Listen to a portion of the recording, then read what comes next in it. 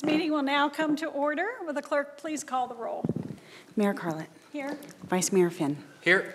Mayor Pro Tem Hunt. Here. Councilmember Patena. Here. Councilmember Binsbacher. Here. Councilmember Edwards. Here. and Councilmember Leone. Good evening and welcome to the Peoria City Council special meeting of September 4th, 2018. Uh, We have two items on our study session agenda tonight, and we are going to begin with the first one, proposed ordinance prohibiting texting while operating a motor vehicle. And uh, with us this evening for our presentation is our city attorney Vanessa Hickman, and I will turn it over to you to begin. Great. Thank you very much, Mayor, and, and good evening to all of you, Mayor and members of the council. Um, I was asked by some of you sitting here this evening um, at both ends of the table, the city manager as well as members of the council, to bring forward a draft ordinance for review and discussion which would prohibit texting while operating a motor vehicle. To begin with, I'm going to ask you a question that can really uh, drive this home. So, how do you feel when you get in the car and realize that you've left your phone at home? So, is it that moment of panic, thinking, how is this going to affect the rest of my day? Do I turn around? Am I going to be late for my meeting? So, the fact is, cell phones have become an integral part of our daily existence. With the change in technology, you can see some of the earlier renditions of the cell phone, some of which were affixed to our cars with long cables, and then the, uh, the Blackberry, which some of us held on to for so long and couldn't get rid of, and then finally the more recent technology. So as technology gets easier, it becomes more and more part of our daily existence. The fact is that 60% of drivers talked hands free, while almost 50% talked on a handheld cell phone in the past month. Uh, those were statistics from 2017, and those were drivers who voluntarily responded to a survey. The numbers are probably much higher than that. Um, you know, a, a big statistic is almost 90, 97% of drivers view texting or emailing while driving as a serious threat with texting, one of the reasons why it's such a, uh, a, large consequence and such a serious discussion is that when you text, uh, on average, you take your eyes off the road for about five seconds. And that five seconds is long enough to cover a football field while driving 55 miles per hour. There are three main types of driving distractions that one recognizes under the category of distracted driving.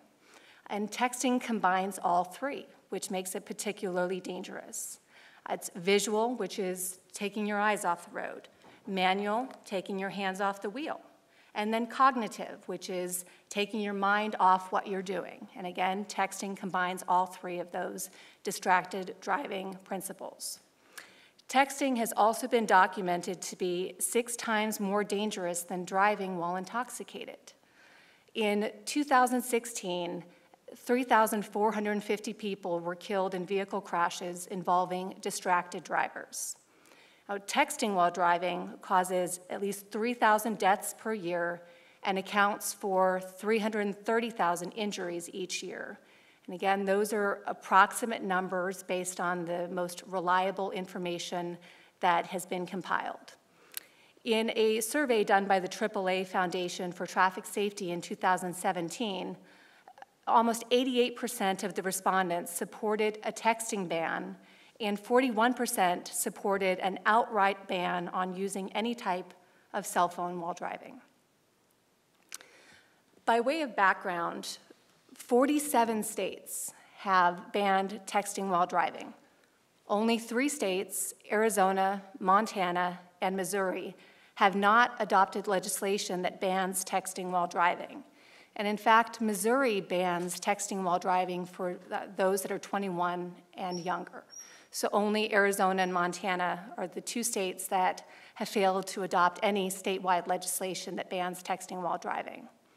Arizona only prohibits new drivers under the age of 18 from using wireless communication devices within the first six months of receiving their license and there have been 11 previous failed attempts by the Arizona State Legislature to pass a statewide ban. Several Arizona cities and counties have adopted distracted driving legislation that outright prohibits the use of mobile communication devices while driving.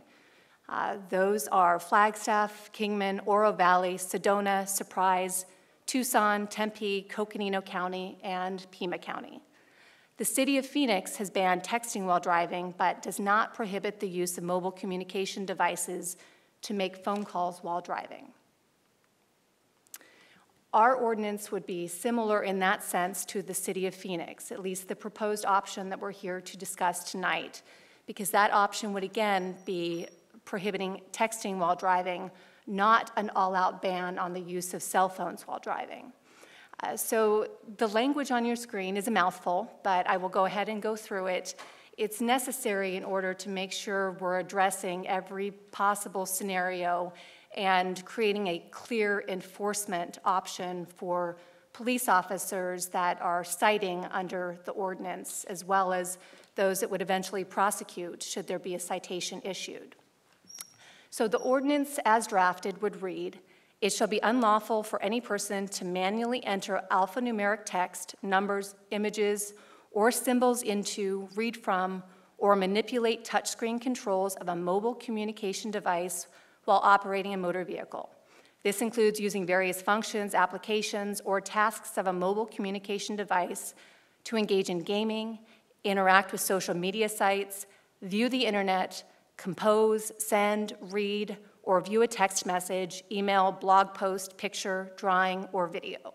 So as you can see, there were a lot of discussions and thought that went into making sure we had captured the full picture of what might cause people to look at their phone, engage in that distracted driving behavior that can all fall under that larger description of texting while driving and lead to some of these statistics that we were going over earlier. Uh, We did provide for exemptions uh, in the draft ordinance, and those exemptions would be to initiate, conduct, or terminate phone calls. So again, the purpose would not be to prohibit an individual from initiating a phone call, from talking on the phone, or, or terminating their phone call.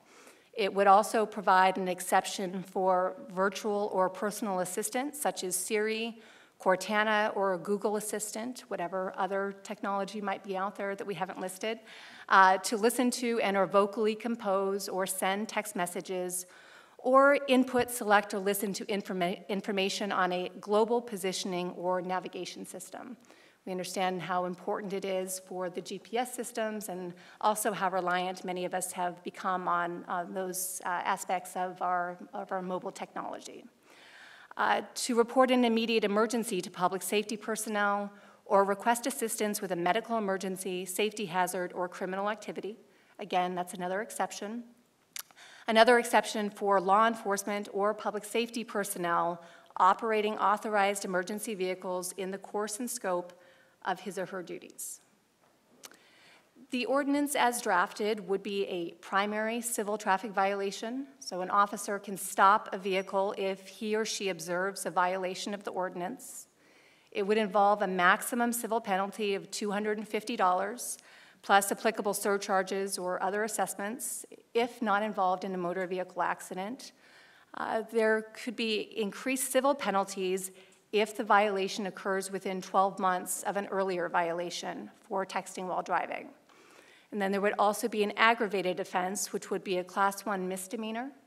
And that would be if there was a motor vehicle accident which resulted in bodily harm to another person. So moving forward, uh, some of the items that we'd like to discuss with you are obviously to get your feedback on the ordinances drafted, the scope, uh, your, your desires on what the ordinance would look like, and uh, any issues that you've identified. You know, have that discussion tonight. Talk to you about outreach and get your feedback on, on what that might look like if this ordinance were to move forward. And then the implementation. So the implementation involving that outreach, um, as well as putting it on an agenda down the road if that's the direction the council would like to move after tonight's discussion and uh, you know working on our path going forward.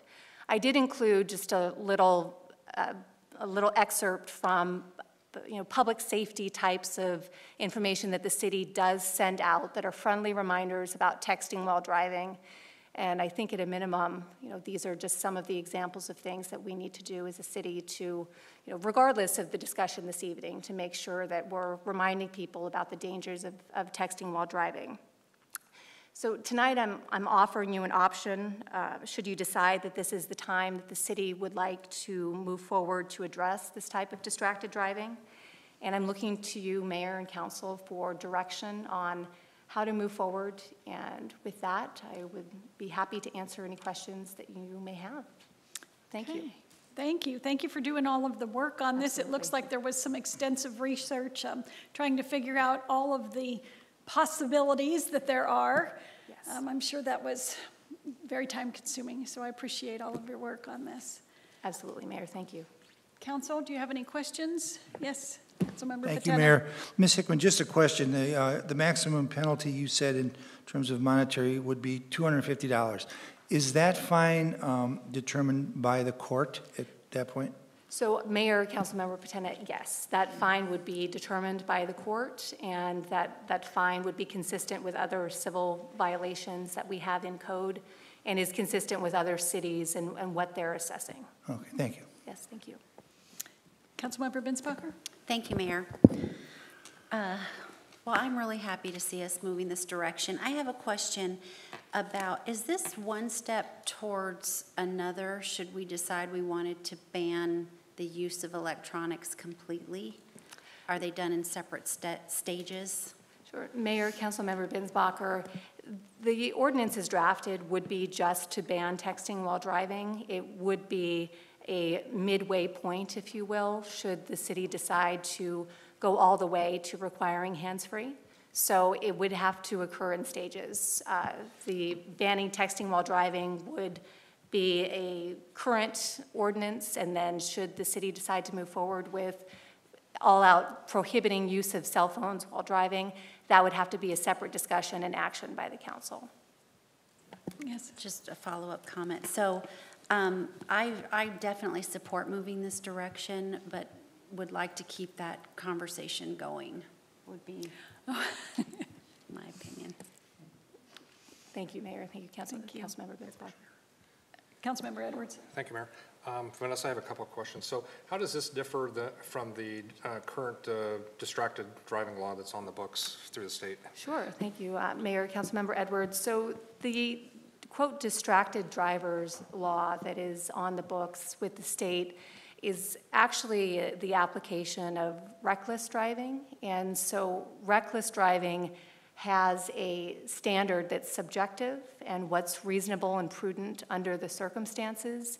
That can be difficult to prove. So it becomes, a, again, a subjective argument and discussion uh, with what an officer believed was not reasonable and prudent under the circumstances, and then having to prove that in an evidentiary fashion to support the citation can be very challenging. So having an ordinance that directly applies to prohibiting texting while driving gives you that enforcement mechanism that, again, applies directly to that behavior, prohibits that behavior, and allows a, a clear penalty to apply.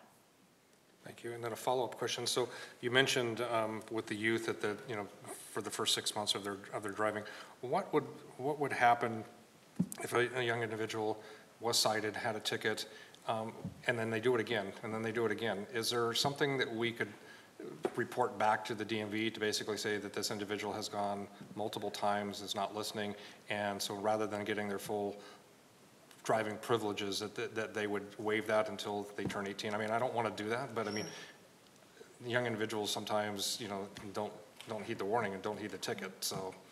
Yes, uh, Mayor, Councilmember Edwards, so that was not something that we researched as part of this draft ordinance. Again, the current prohibition in law you know, prohibits the, the youth from within the first six months of obtaining their license. We could certainly add language to an ordinance that moved forward that had uh, a, a more aggressive treatment towards, you know, those that are under 21 or those that are under 18 based on certain number of infractions. You know, keep in mind, this one does have a- an enhanced penalty for anyone that is cited more, a second time within 12 months. So that is to address the repeat offenders, and we could step that up from there if that's the desire of the mayor and council, mayor and council members moving forward. I just don't want it to get to the last, the last step where it becomes an aggravated texting, you know, and, and potential, you know, criminal time behind bars. I don't want Certainly. that to happen. And so, you know, if, if we could stop that bad behavior or potential bad behavior ahead of time, I, I would like to see that. We Mayor might and be able Councilmember. to, we might be able to accomplish that with the education Absolutely. period in Absolutely. advance of, and then, you know, see how See things it are plays. going. And I'm fully okay with that, so, Great. thank you, Mayor. Councilmember Hunt? Well, I've already talked to a couple of you this week. I, in my core, I am fundamentally against government overreach into people's private lives. I think this skates so close to it that it bothers me. Um, But I like, I like that it's only texting, because we talked about a couple of other things, that you took out the GPS business and all. I also understand that with some things that are personal decisions to make, they don't really affect other people. I mean, they, like seatbelts, for example. You're taking your own life in your hands when you refuse, before the law and all. Um, And I see so many other things that I think are just as eating while you're driving. Are, really, are we going to legislate against that? Are we going to legislate against talk radio? Because that's really, it occupies my brain when I'm driving. Um, Reaching over and searching for a station that you want to hear on the radio. Uh, Kids screaming and yelling in the back seat. Distracted moms. Uh, There are so many things that I think rise to this level. And we certainly can't legislate against all of them, thank goodness we cannot. Um, I'm not going to oppose this because I've done a lot of thinking about it this week. I do like the way it's written, better than the way I first got it. And however, I would object to going further with it. I will not support going to uh, abandoning hands, whatever that was that Bridget said. Um, I think hands-free is fine. My radio talk show is hands-free. Um, Haven't had a wreck yet. Uh, I think when you punch this button and say, text so-and-so, I'm not sure I understand. she always answers me. Um, I, I don't, I don't see that as a distraction. And when I'm talking to someone that way with it laying over here, I, it's, it possibly is a distraction, depending on what we're talking about, but it's not any more of a distraction than me hearing news on the radio that I don't like or, or disagreeing, or even having someone as a passenger that's, that we're having a heated discussion, not that that ever happens, but um, there are just so many other things that I would really object to moving further in this. I think the actual sitting and sending love notes to your boyfriend or whatever is done with texting, I, I can see how that is really distracting because it uses your hands as well as it distracts your brain. But uh, the others I don't, I don't see a problem with, so I, I will oppose going further with this. But anyway, I'm, I'm okay with this tonight. Thank you. Vice Mayor Finn? I just wanted to make one follow-up comment. Can you go back one slide? Yes. So is it back to the statistics? Um, Keep, keep one more? Okay, so this, sorry for the pun, but that's a pretty sobering um, statistic there. Six times more dangerous than driving while intoxicated. So I can't imagine a conversation of us saying, we want to make it okay for drivers to drive while they're intoxicated. And this is six times more dangerous. I, I support it. I absolutely support it. I, I've, I've never seen that statistic before. I won't argue the validity of it because I really have no idea. I'm sure there's stats that are behind it, but um, anything that is six times more dangerous than driving while intoxicated, I think it's probably a pretty good idea that we want to limit that from happening. So I would definitely support this. Thank you. Councilmember Binsbacher? Thank you, Mayor. I just want to clarify too, that great point um, that I agree with. Um, I, to Councilmember Hunt's point, I just want to clarify, hands-free I see as very different than handling the electronic in any way, whether you're talking on the phone or texting or anything. Um, So I think hands-free is okay, um, especially with today's technology and what's available in the vehicles. But with these statistics that you know, tell us what they tell us. I feel like, I mean, the last thing I want to do is get in every individual's business. But I just see this as, I just don't see that we have any choice to take some steps to alleviate this problem that is ongoing for all ages. Thank you. Kathy, I want to say one more thing. Councilmember Hunt? I, I forgot to add that I really appreciate any education we can do along these mm-hmm. lines. I think that's really the answer. I would prefer that, a massive education campaign over even deciding what we're going to do, what we're going to decide tonight. Um, I don't think this is a magic bullet to stop people, especially kids, teenagers, uh, from texting. It's just not. But I think uh, with the educational, uh, it's what we had to do with seatbelts. My mother went to her grave refusing to wear a seatbelt because nobody was going to tell her what to do in her car. And there will be people like that. Oh, she didn't go to her grave because she didn't wear a seatbelt. I, I need to say that.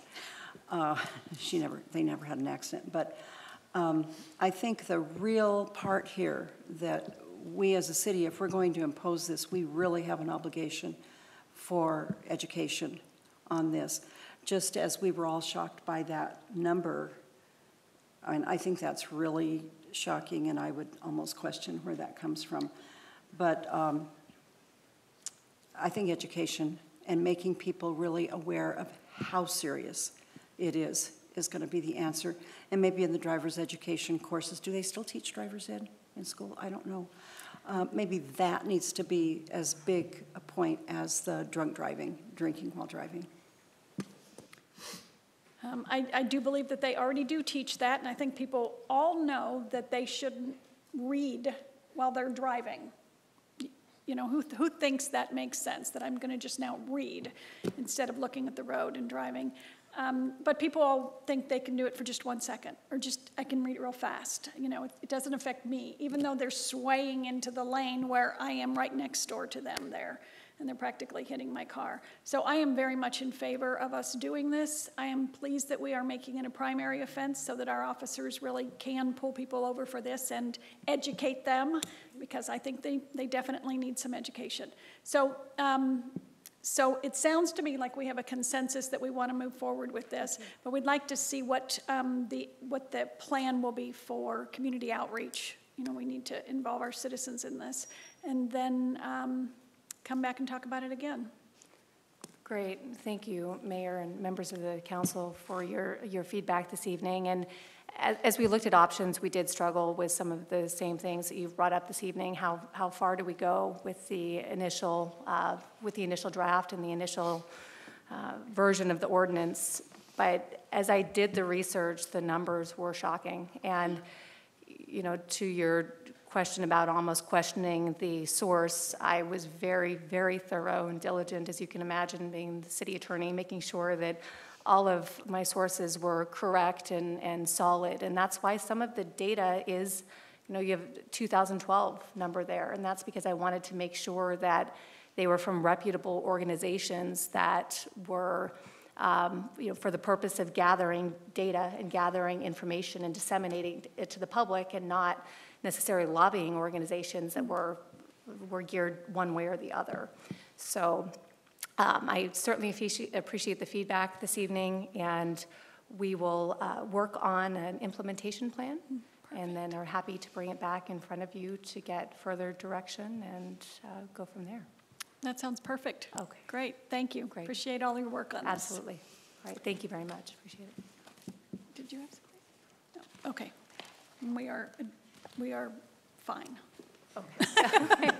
Okay, I'm going to go ahead and move on to our Thank you. next um, study session item, and that is the follow-up briefing with city codes. And I'm going to turn it over to our city manager, Jeff Tyne. Great, thank you, Mayor and Council. And our next item is a follow-up uh, from a March 16th uh, workshop that the city council had had to talk about our various city codes. Uh, And specifically, it was an overview of the codes that relate to property maintenance, our community standards and the like. Uh, We focused at that time on efforts to eliminate blighted property and such activities. A lot of good conversation came from that. And it ended with the council expressing their interest in having more public dialogue on this very issue, because of course, this really is a lot about the, the various value decisions that come with it. There's always a need for a balance uh, between what are, as the community standards for safety and appearance, uh, and balancing that with individual interests. And likewise, when we get to actual code enforcement and the balance between creating an awareness of an issue and the actual enforcement of that. So because of that, we felt like we should really continue this conversation going forward. And as a result, we have Chris Hallett, our Neighborhood and Human Services Director, will present the study session item, and also uh, I'd like to introduce Jay Davies, our Deputy Director, and Jack Stroud, Code Compliance Manager, who will assist and provide a PowerPoint presentation with this. So with that, we'll, we'll go to a PowerPoint, and thank you.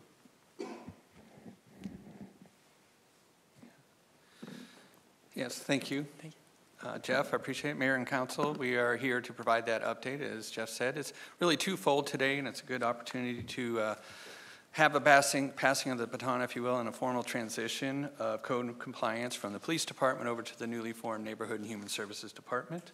And to do that, we're going to rely upon Jay Davies' expertise one more time. Uh, So today, uh, we're also going to be really focusing on, more importantly, those changes and building upon, um, I got to change this, sorry about, uh, addressing, uh, by doing that, focusing attention on two of the livability topics, uh, that of the built natural environment and public safety. Uh, To do that, uh, Jay and Jack are really going to build upon some of the conversations you started back in your March 16th retreat setting, uh, where we're going to discuss uh, the variety of vehicle-related issues, commercial and home-base-related issues, and non-permitted home rehabilitation, uh, impacts on our community, as well as some of the um, things to consider when contemplating any of these code changes. Then we'll wrap it up with some next steps, options on how we would like to pursue making those changes to the code enforcement. Uh, Jack will get us started off today with some recent year's uh, performance results, and then we'll go into the cursory review from Jay. Good afternoon, Mayor and Council. I'd like to go over the numbers for the past year. Our numbers consist of the following for the fiscal year uh, 18. Uh, We we opened 500, or 5,611 cases. Our initial response time overall was an average of two days for, from the time the case opened. Our average closure from start to finish was 30 days. Um, We did personal contacts, that's face-to-face and on phone. We did 1,103 personal contacts out of the 5,600. Uh, Voluntary compliance rate was uh, at 96.6%. That's 500, or 5,420 of the cases. And that's a pretty good uh, rate. We're kind of happy with that. It kind of shows that we're consistent, our codes are kind of in line, and uh, it's what we, it's all, what we're trying to achieve. And our actual enforcement, where the cases actually went to uh, a citation, where we issued a citation, was an average at 3.4%, which is, which is pretty good numbers, too. I'd like to go over the, uh, the chart, uh, vehicle and parking. That, those numbers reflect, um, it's all parking issues, uh, parking in the front yard, parking in the side yard, illegal parking on the street, uh, in-ops that are parked in public view. And it also goes, uh, it also was uh, the RV parking, uh, storing the RV in public view. Landscaping issue, that covers the weeds, overgrown vegetation, um, and then the debris covers anything that's in public view, that's stored in public view, boxes, garbage, uh, debris, and such. And then miscellaneous kind of covers anything else, general issues. Uh, With that being said, thank you for, and now I'll turn it over to Jay Davies, and he'll go in more detail with some of the case uh, information or case problem issues. Thank you, Jack. Good afternoon, Mayor and Council. We're going to revisit some things we discussed in March, not in quite as great a detail, but to kind of uh, spark that conversation again. Uh, We're going to start with RVs and utility trailers. Uh, Again, anything vehicle-related accounts for the largest segment of our caseload uh, throughout the year. Uh, RVs and utility trailers are about 18.5% of our our caseload. Some observations we shared with you uh, previously was that at this point, we have different rules for parking these vehicles on the street versus on the parcel. Uh, There are differences between RVs, there are differences between parcels, which complicate matters. Uh, There's expectation from the public versus the realities of enforcement, which creates a a gap. Uh, At this point, we are the strictest in the valley with respect to utility trailers and vehicles. Uh, Then uh, there's also some disparity between an open trailer versus a closed trailer, which uh, lends to some confusion as well. Uh, At this point, uh, our recommendation, and and you'll hear this throughout this presentation, is we, if you so desire, we could provide a, a menu of community livability standards for your review.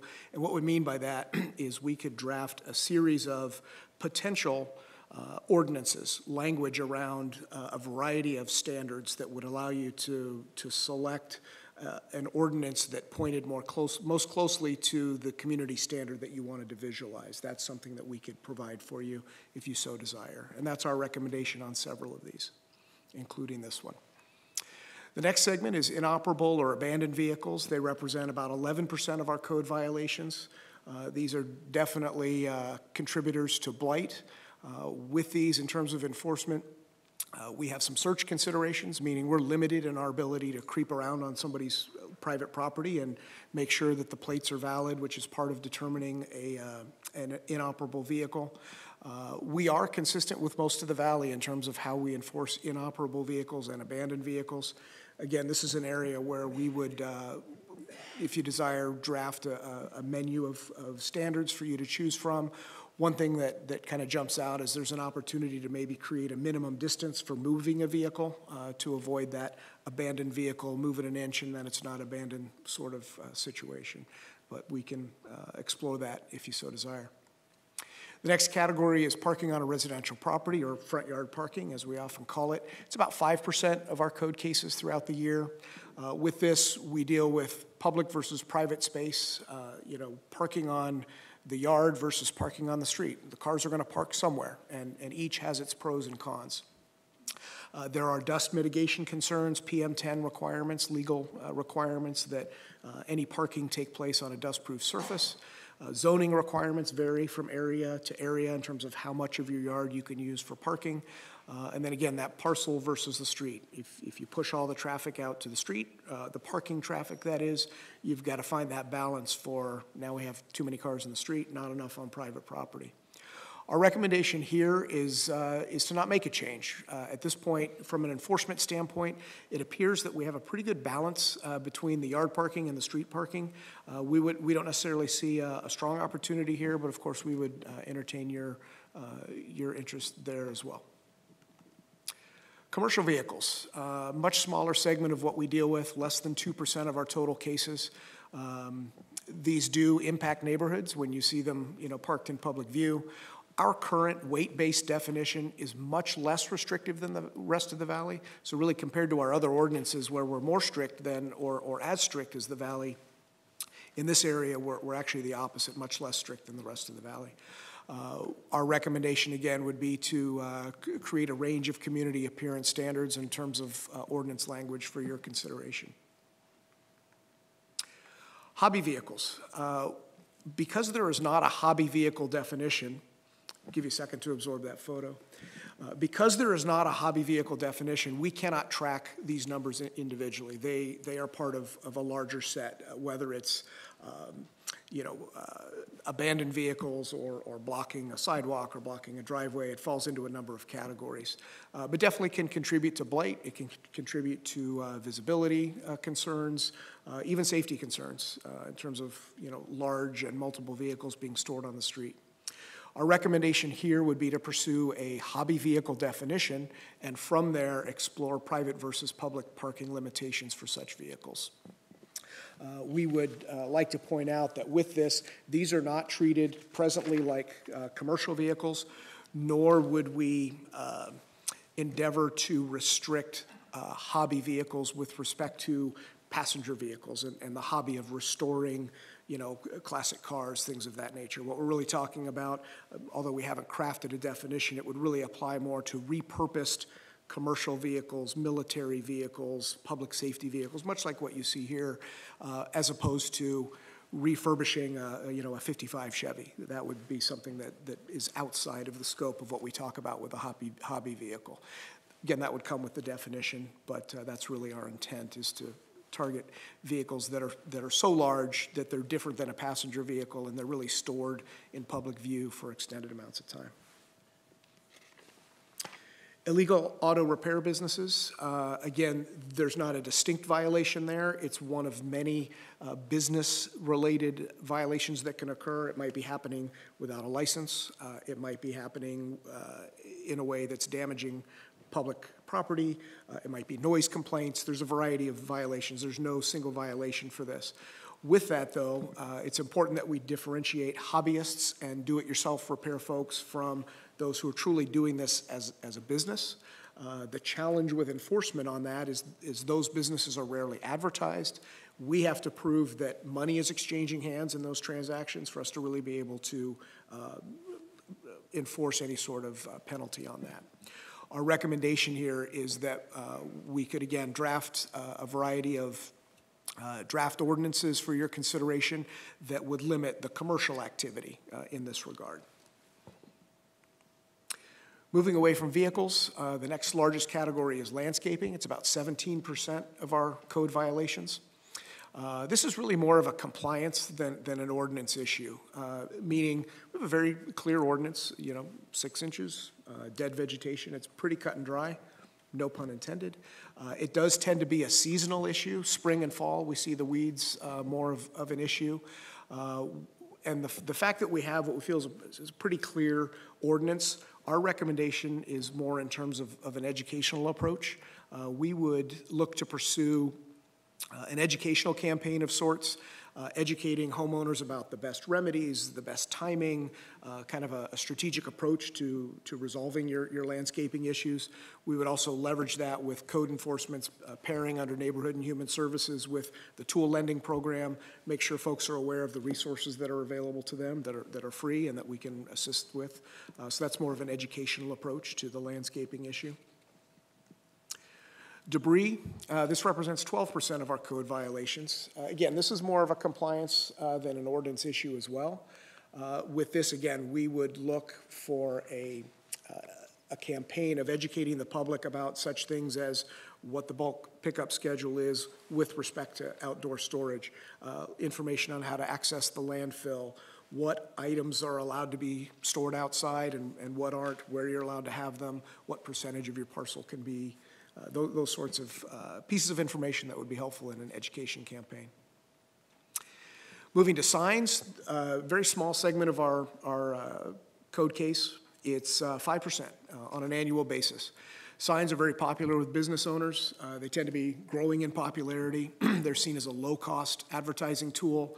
Uh, They can provide uh, not only concerns for safety, uh, for safety, visibility, uh, but also blight if they're allowed to proliferate too much. Uh, Blight becomes a concern. Visual pollution sometimes is the term.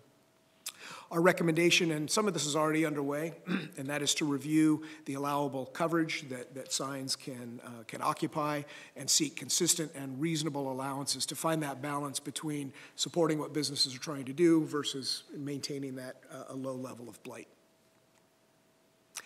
And we have non-permitted home rehabilitation, or building without a permit is really what we're talking about. Just about 3% of our code caseload for the year. Uh, This can be a public safety issue. Uh, Obviously, different levels of craftsmanship come into play here without a permit. And for those that, that think it, you know, doesn't really hurt anybody else, we'd like to educate folks that it, it can actually affect your own assessed valuation if you start, you know, creating uh, additional square footage that, that, that starts to impact the, the valuation of your home that isn't properly permitted. Uh, On this, again, we would, we would endeavor to pursue an education campaign highlighting those safety matters, the resale matters, and other considerations uh, from an educational standpoint. And with that, I'm going to hand things back over to Chris. All right, thank you, Jay. Uh, Mayor and council, you saw there's a variety of issues uh, impacting our neighborhoods and businesses. Uh, In order to meet your expectations on any potential code changes, we'd like to ask a couple leading questions to get your feedback. Particular, are there any other codes the city council would like to review? Uh, What time frame might we want to be looking at code changes? And what venue might be best suited? Uh, Do you want to do it in a future council study session, retreat or workshop? We can bring them here certainly on a case-by-case review basis, or any other option you might want to consider. So um, before we get into any of these things, first of all, I'd like to ask council if you've got any discussion or um, questions that you specifically want to ask some of the speakers. Okay, start with Councilmember Patena. And by the way, he worked in code for 18 years for the city of Peoria, is that Okay. correct? That's correct. Just going to throw that out there. Thank you, Mayor. So, uh, Jay, I'd like to ask, for years, code was led to believe that after a uh, household was given a notification of a violation, that they had 30 days to remedy that situation, and then the code would go back out. And then if they didn't remedy it, they get, got 30 more days. And then, then we found out a little over a year ago that that, that wasn't factual. So my question is, are you, are you still using the 30-day, or have you lessened that time? Well, Jack, he does the work, so. Mayor and Council Patena, uh, yeah, when, when I took over the, the program, it was seven and 10 days. We, we used seven days for the first notice and then seven days for the second notice. Okay, And 10 days for out of state or out of county. okay. But uh, 30 days, I'm not aware of the 30 days. Are you still using seven days? We are using seven days, yes. Okay. Is it- Seven to 10 days. Okay. Thank you. Councilmember Binsbacher? Thank you, Mayor. Uh, Okay, I, a couple of things. Um, Are you, do you separate the code enforcement as it relates to residential versus commercial? Or is it all together? Mayor and Council Binsbacher, um, they are separated to a point. um, that They, they fall under the same city codes and interna- international property maintenance codes. We still deal with them the same. The inspectors treat them the same way. Uh, They still get the same type of time frame unless they're out of state or we can't get hold of the LLC, then we give them additional time. But they are treated, they're the same city codes that we follow and zoning ordinances. for- Okay. For residential versus commercial. So uh, could you go back a couple slides to the sign, there, right there? So, um, okay, staff reviewing allowable coverage. Okay, so there's current code in place. I think we've talked a lot about, with everything, communication and education is key. And I think through some things happening in my district recently. I think we've learned a lot about how to communicate with businesses, and I think I'm really excited about what's what's in the works there. Um, but again, finding balance, because when you look at a situation like this, you know, the code is very black and white, but then you've got the Hunter Chiropractic that has very tasteful signage, um, but is out of compliance. And then up here in the top left, I don't even know what the name of that store is, but that's, could be considered blight. And so I think it's such a fine line between, you know, what works and what doesn't. And so I know that's a big job, um, but a, a real sensitive area. And so my, what I'm looking for, and again, I know there's some great things in the works, is how we communicate and educate our businesses as we move forward. I think that's key. Um, so it's not so much the what, but the how. Um, with regard to businesses out of the home, particularly um, the uh, Airbnbs, is there specific code against being able to do that in your home?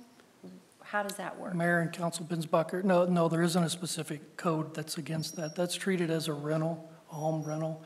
We've actually are looking into that to see if we can tie that to something else. But Okay. right now, we're treating it as a typical rental.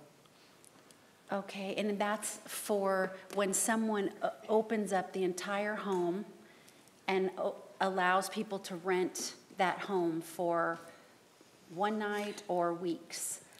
Yes, ma'am. Okay. Uh, It, the, the code doesn't distinguish between timeframes, whether you do a 30-day rental or a one-year rental or a one-day rental. And what if somebody breaks it down to, you know, locking each individual room within the house and renting those out individually? That would fall under a different situation where if they, if they created, if they had leases for every individual that was in the house, then you'd fall into either a uh, boarding house of some sort. Okay. It would fall under a different code. We'd treat that with a different uh, ordinance. But those are all issues yet to be addressed.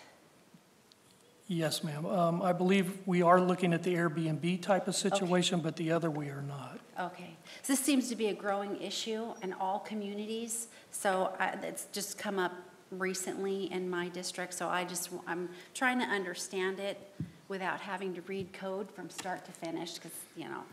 Um, But I will, I will definitely be sharing those instances then, so that you can look at those examples. Thank you. Vice Mayor Finn?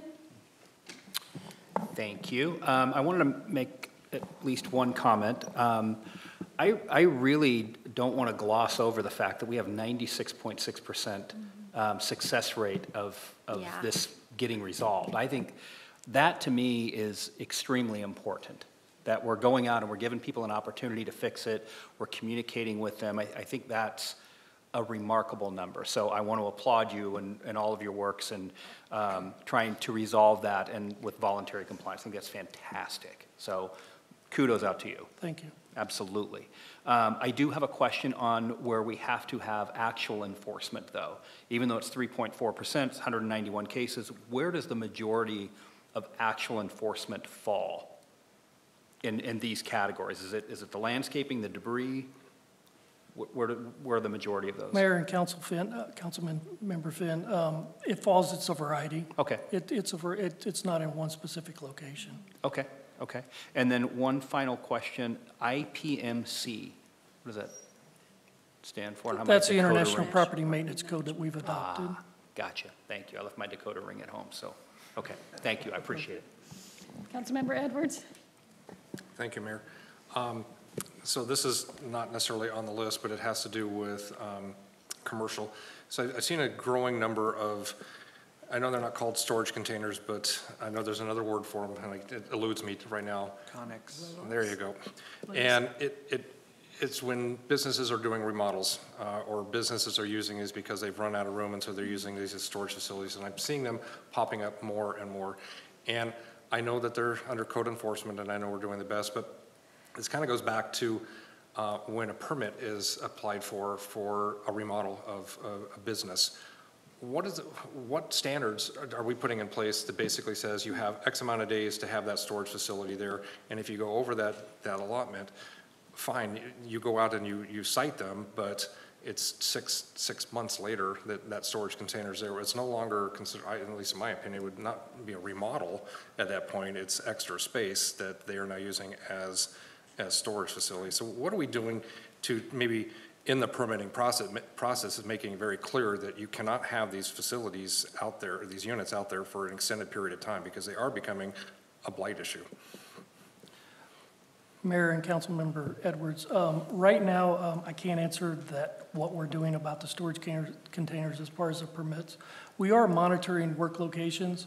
When the- they pull the permits and we go out there and we, we see that there's construction that's prolonging or going on for a long period of time, we actually open a case on that and we'll monitor it for so many days and, and, and hold them to a, a certain date of completion date. What about a, what about a unit that's uh, on a par- on a parcel that's actually being used to house motorcycles? There's a variety of uh, different conexes that are out there in the city, you are correct. Um, uh, There's certain guidelines and criteria and and stipulations that they're supposed to follow. And that particular case right there, we are, we do have an open case on that, and they will have to follow certain guidelines. It's treated as an accessory structure in that situation where um, it would have to fall, it would have to fall under certain requirements to be allowed there. and Like what, screening? uh, Screening, of the- setback requirements, Okay. and because- si, and whatever the size is. Or if it's being used consistently, then, I mean, obviously, then it, then it uh, would fall under some building code requirements, would, correct? Because it if it's would. being consistently used, I would think that, that our building code would be stepping in and saying that it doesn't meet our standards for a building, because Right. it's being used as a building and not as storage facility. Right. Is that correct? Yes, sir. Okay. Thank you, Mayor. Councilmember Hunt? I just wanted to remind you, we do have a bed and breakfast code or ordinance, so that might lay the groundwork for, I know because I wrote it in 1998. So we have a bed and breakfast code. We no longer have a bed and breakfast in Peoria, but now we have all these Airbnbs. So for guidelines, it seems to me that might be the place to start. Thank you. Councilmember Leone? Go all the way back to the end on the,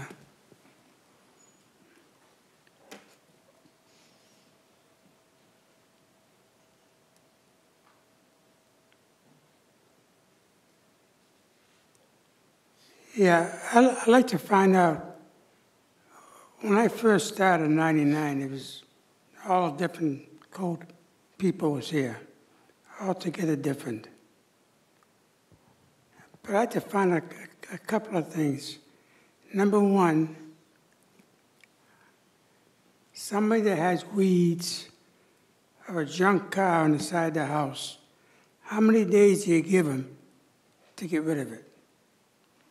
Mayor and Council, Councilmember Leone, um, typically, if if it's a first occurrence, we typically give them seven to 10 days.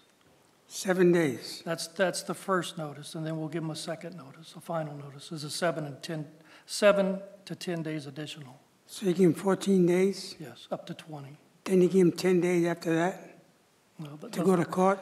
Well, the, go, to go to court, it could take up to 30 days. Once we issue the citation, if we do issue a citation, we, we set the court dates out 30 days. Oh, Why do we give them 14 days when it only takes a few minutes to pull the weeds or get somebody doing for you or move a junk car? Why can't we cut it down just to strictly seven days? We, uh, Councilmember Leone, we could do that if that's what the council wants us to do. Okay, now, I remember when I first started, if you parked on the side of the house on rocks, it was illegal. Now I guess you can do it, and I never knew they changed the ordinance on that, if there was an ordinance. Mayor and Councilmember Leone, uh, I'm not aware that that ordinance did change. There is a driveway requirement where you're allowed to legally park your vehicle, and if it's on a dust-proof surface and rock is considered a dust-proof surface, if it's up to three inches, they are allowed to park there. Then can, and then can you park in front of the house, I mean on the grass, by the front door? No, No. not in the front yard, no. Okay, it's- it's- I got a lot more, but I will be here all day, so that's what I wanted to know. Thank you. Well, thank you. We appreciate this presentation as well as um, all the information that we received at our um, work study session a couple months ago.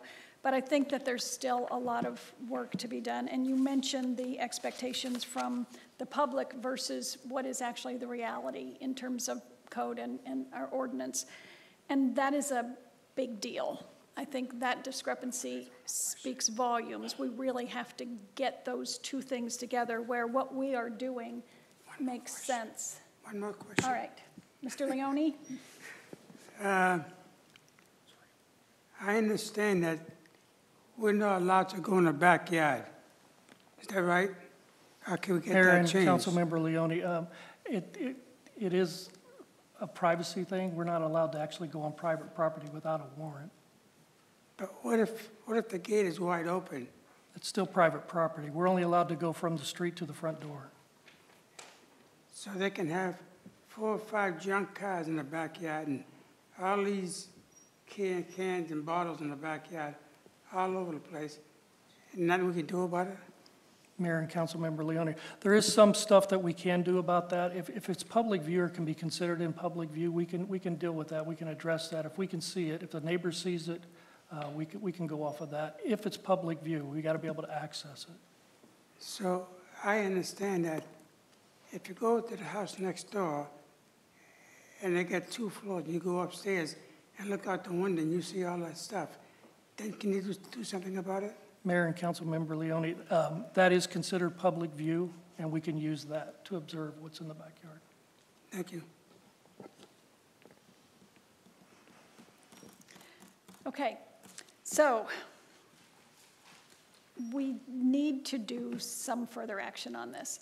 And because of that discrepancy, I think um, you know, there's got to be a way that we can get some public input on this too, so that our, that our citizens, so that we're doing something that our citizens can comprehend in a little bit better of a, of a manner. And I love that you said that you wanted to create a menu um, of items that would bring us back to the community livability standards that we expect. I, I mean, I think that's great to tie it back to our goals. I don't know why we, we didn't think of that in the past, but it's a, it's a perfect place for us to begin with all of these.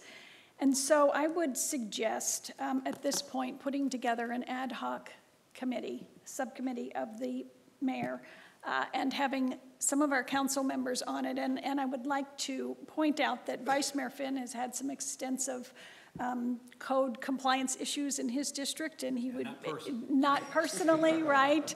Um, But some things that really need some resolution, and so I would like you to head up uh, the mayor's ad hoc subcommittee on code compliance, and, and Councilmember Patena, your experience, you know, yeah, leads you uh, to be the perfect person to also head that up. Uh, So if the two of you could um, work with our code, go out, talk to our citizens, find out ways that we can bring this code, uh, decrease that discrepancy between what our citizens expect and what we are actually delivering, and um, tie it all back to our community livi- livability standards. I think that's a perfect solution.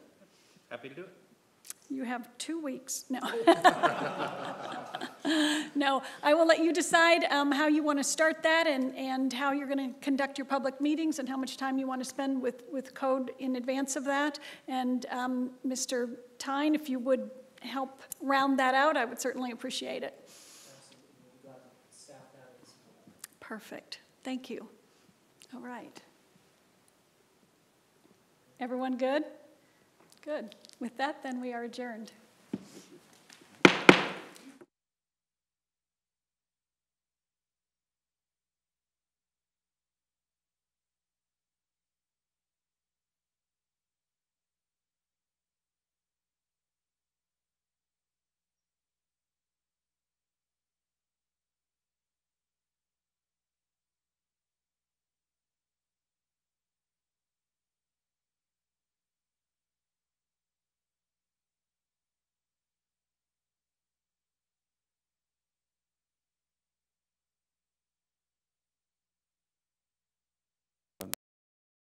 Staff did a pretty extensive uh, review, um, and because of the level of service and that there's no need for a second access, um, there's no need uh, to pursue that, but uh, the- applicant, knowing that uh, the residents were in concern, or were concerned about that, tried to um, talk to the commercial um, owner of that property and try to negotiate with them, and it, it did not go through it. Those negotiations failed.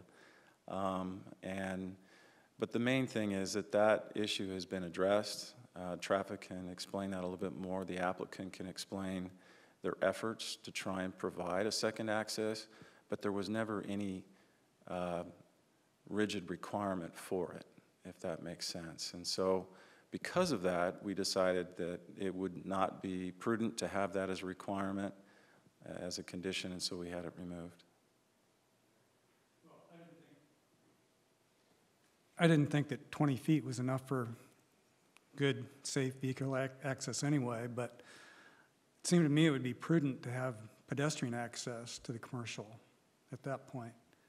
Was there any discussion with the commercial properties about allowing pedestrian access? That- That's kind of one of my pet peeves on developments like this, is you got to walk all the way down to the arterial street and circle back to get to a store, and if you got a pedestrian access, it might cut down your traffic in and out of the project. Mr. Chair, Commissioner Patterson, um, I, I love connectivity as well and, and try and push that whenever I can. Um, uh, It was an effort to get vehicular and pedestrian access, and both uh, those efforts were rejected by that property owner. Uh, And the applicant can allude to that a little bit more. Um, But again, it wasn't something that's required or necessary, as, as Chris and traffic has pointed out. Um, There's no need for that. Yeah, I just think would be great planning if it could happen. Commissioner Patterson, if I could add to it, um, if we go back to the graphic, there's a 30-foot drainage easement in there, so it does make it more challenging to put pedestrians uh, within that corridor as well, because there could be inundation with water being stored in that area. So that was one of the reasons why we also didn't uh, have the pedestrian access in the middle of the site as well. So there's a drainage easement in there, Yeah, you could easily put in a fairly inexpensive bridge. yeah. All right, any further questions from commissioners? I'm going to open the public hearing. Is the applicant present? Yes. Do you wish to speak, sir? Uh, yes, I do. Terrific. Please state your name and address for the record, if you would, please.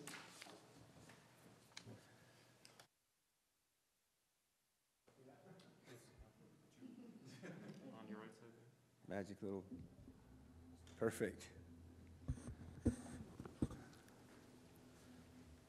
Thank you, my apologies. Uh, Chair, members of the commission, my name is Brennan Ray, 702 East Osborne, here on behalf of the applicant NexMetro Communities, uh, who is the proposed developer for Avilla Lago.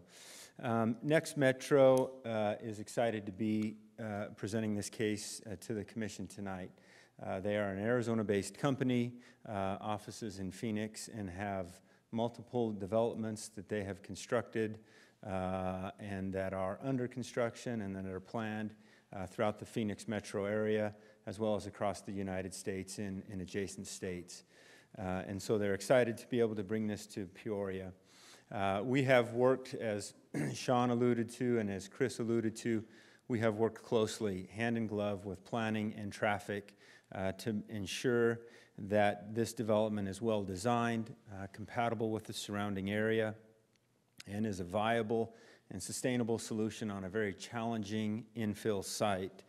Um, We appreciate the feedback that we've received from the neighbors as we've gone along the way, Um, and we think that the layout of the proposed development uh, has kept in mind our neighbors, in particular, the Ventana Lakes community on our north and kind of west sides, and I'll touch on that.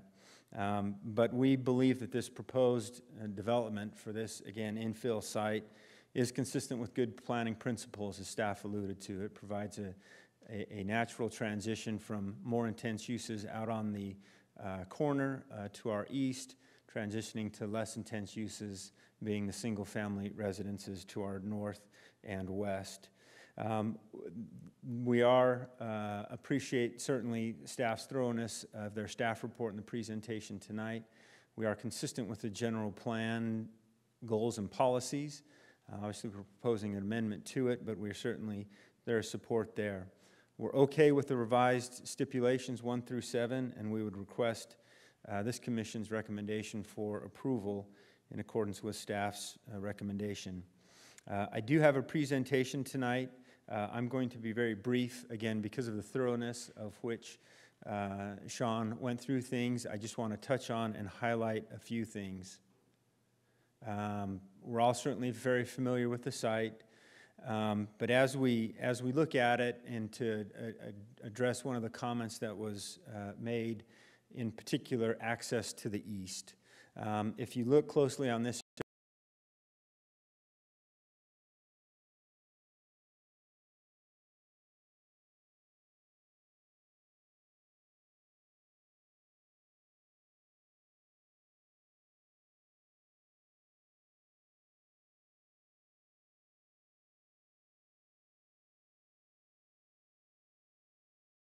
as well. And so we did, uh, um, staff, we did work with staff early on uh, to see what, if anything, could be done about access to the east. Um, Because uh, it certainly makes sense on a lot of levels uh, when you start to look at it on paper, but when you start to drill down to it, uh, apart from the traffic reasons, uh, and we had our traffic engineer work with Chris to make sure that our Beardsley access was fine. we kind of run into a, a couple of challenges, the 30-foot easement being first and foremost. Uh, It's a little hodgepodge of, uh, of improvements, of landscaping, and at the end of the day, uh, there was a fundamental concern of our part of dumping pedestrians into the back of house, uh, the back of these businesses. Um, I can't uh, not good at pointing, but about where that Pleasant Promenade building starts, um, a little bit north of there, there is a wall uh, that is on the common property line on that, on our west, eastern side that runs all the way north. So we're kind of limited with some of the existing improvements that are in place there. And again, down at that Walgreens, if I remember right, the west side of the Walgreens building uh, is a drive-through. And so dumping pedestrian uh, traffic uh, into that area, we didn't feel would be safe and prudent, uh, not only for our residents, but for the users of that site as well. Um, and so uh, we, we did look at it. We, we did run, run the gauntlet. Um, speaking with those adjacent property owners um, before we ever had our neighborhood meeting, and then following up with them after hearing some of the concerns coming out of that neighborhood meeting. And each time we were rebuffed uh, in our efforts to try to secure some type of access uh, to the east. Um, just a couple of things, uh, again, not going to belabor it uh, um, uh, in terms of the layout, but there's a quick little summary of what's going on. I think the key thing that I'd like to note on this and that, that Sean brought up is that the, amount of, of common and private open space that we're providing, that on this, you know, challenging infill site that's a little over 11 acres, we're providing a little less than two acres worth of common and public, common and private open space. Uh, and where we, uh, where that leads us to, and a lot of the questions that we asked is, why would someone choose this, or what kind of people would want to live in this type of a development? And so this is a, a quick summary of that um, for the residents uh, within Peoria to understand as well, in that this development represents a lifestyle choice. Um, people choose to live here. Uh, you'll see there that we have a strong showing of people over the age of 35 we have people, uh, a, a, fair number that are single women. Um, a lot of them have come from single family homes because this type of a project, excuse me, development combines the best of single family living with multifamily characteristics. Um, and you can see that. I won't run through all of that, but clearly these are the type of people that could um, otherwise uh, afford a home but choose for whatever reason uh, that they don't want to deal with that. This next slide uh, gives you an idea of kind of the typical courtyard layout. I know that, that this commission is familiar with the bungalows, um, but each of these is laid out in groups of four uh, with an entrance to these buildings of four. All of them have private rear yards uh, that are landscaped and an opportunity to, do, to uh, go out there, uh, if you have a dog or, or a pet, have it go out there. There's enough space there that if they wanted to put up a barbecue, some tables, and chairs, and umbrellas and stuff, there's plenty of room back there. And we found in the course of, of talking to our existing residents that this was, this feature, this private rear yard was something that really attracted them to this type of development. Um, in terms of the elevations, uh, there they are. Sean presented them to you. The one thing that I would note and clarify in our request is that it was, uh, we are requesting a deviation for one story, 25 feet in height. The 25 feet does not come from these buildings. It comes from our leasing office up in the front. Typically, as you can see on those, most of our, on average, to our peak is about 17 feet in height. Uh, so this is an entire one-story community that additional 25 feet is just for the leasing office up in front. Um, it's always one thing to see something on paper, it's another thing to see actual photos. This is an example of the pitch roof product at another development. Uh, obviously, the elevations uh, that are in your book are the ones that are in the packet are the ones that we're going to be building. But wanted to give you and, and the residents an opportunity to see some actual um, photographs of what this looks like uh, in a built condition. Um, obviously, staff did a real thorough job talking about the amenities. One of the things that I would just focus on this is the idea was to create social gathering areas where residents are able to, to meet and socialize and interact with one another, and we believe that we've accomplished that. Um, this uh, next slide is an example again of that leasing office. Uh, those are faux windows up at the top. It's not a second story. Uh, they're for decorative purposes only, but can kind of give you a, a flavor and feel of what the pool area will look like.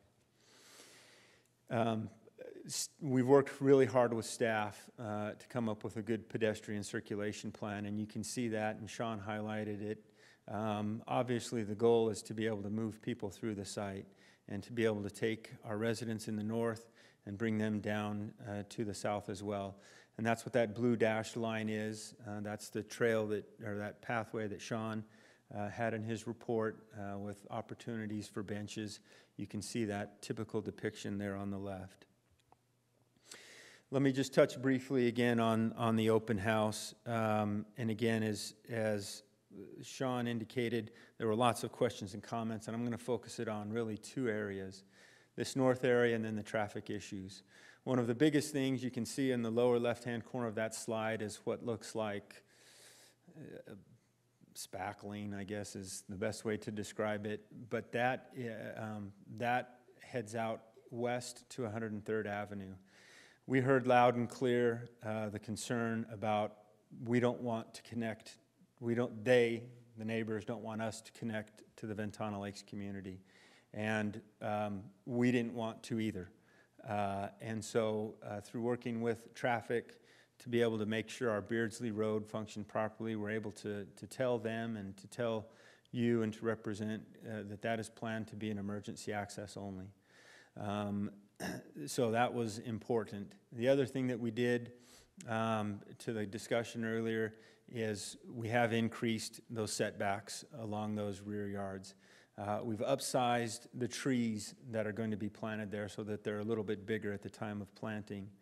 Um, And you can see uh, in the orange color, there was a question about lights and what, is there going to be spillage or pollution?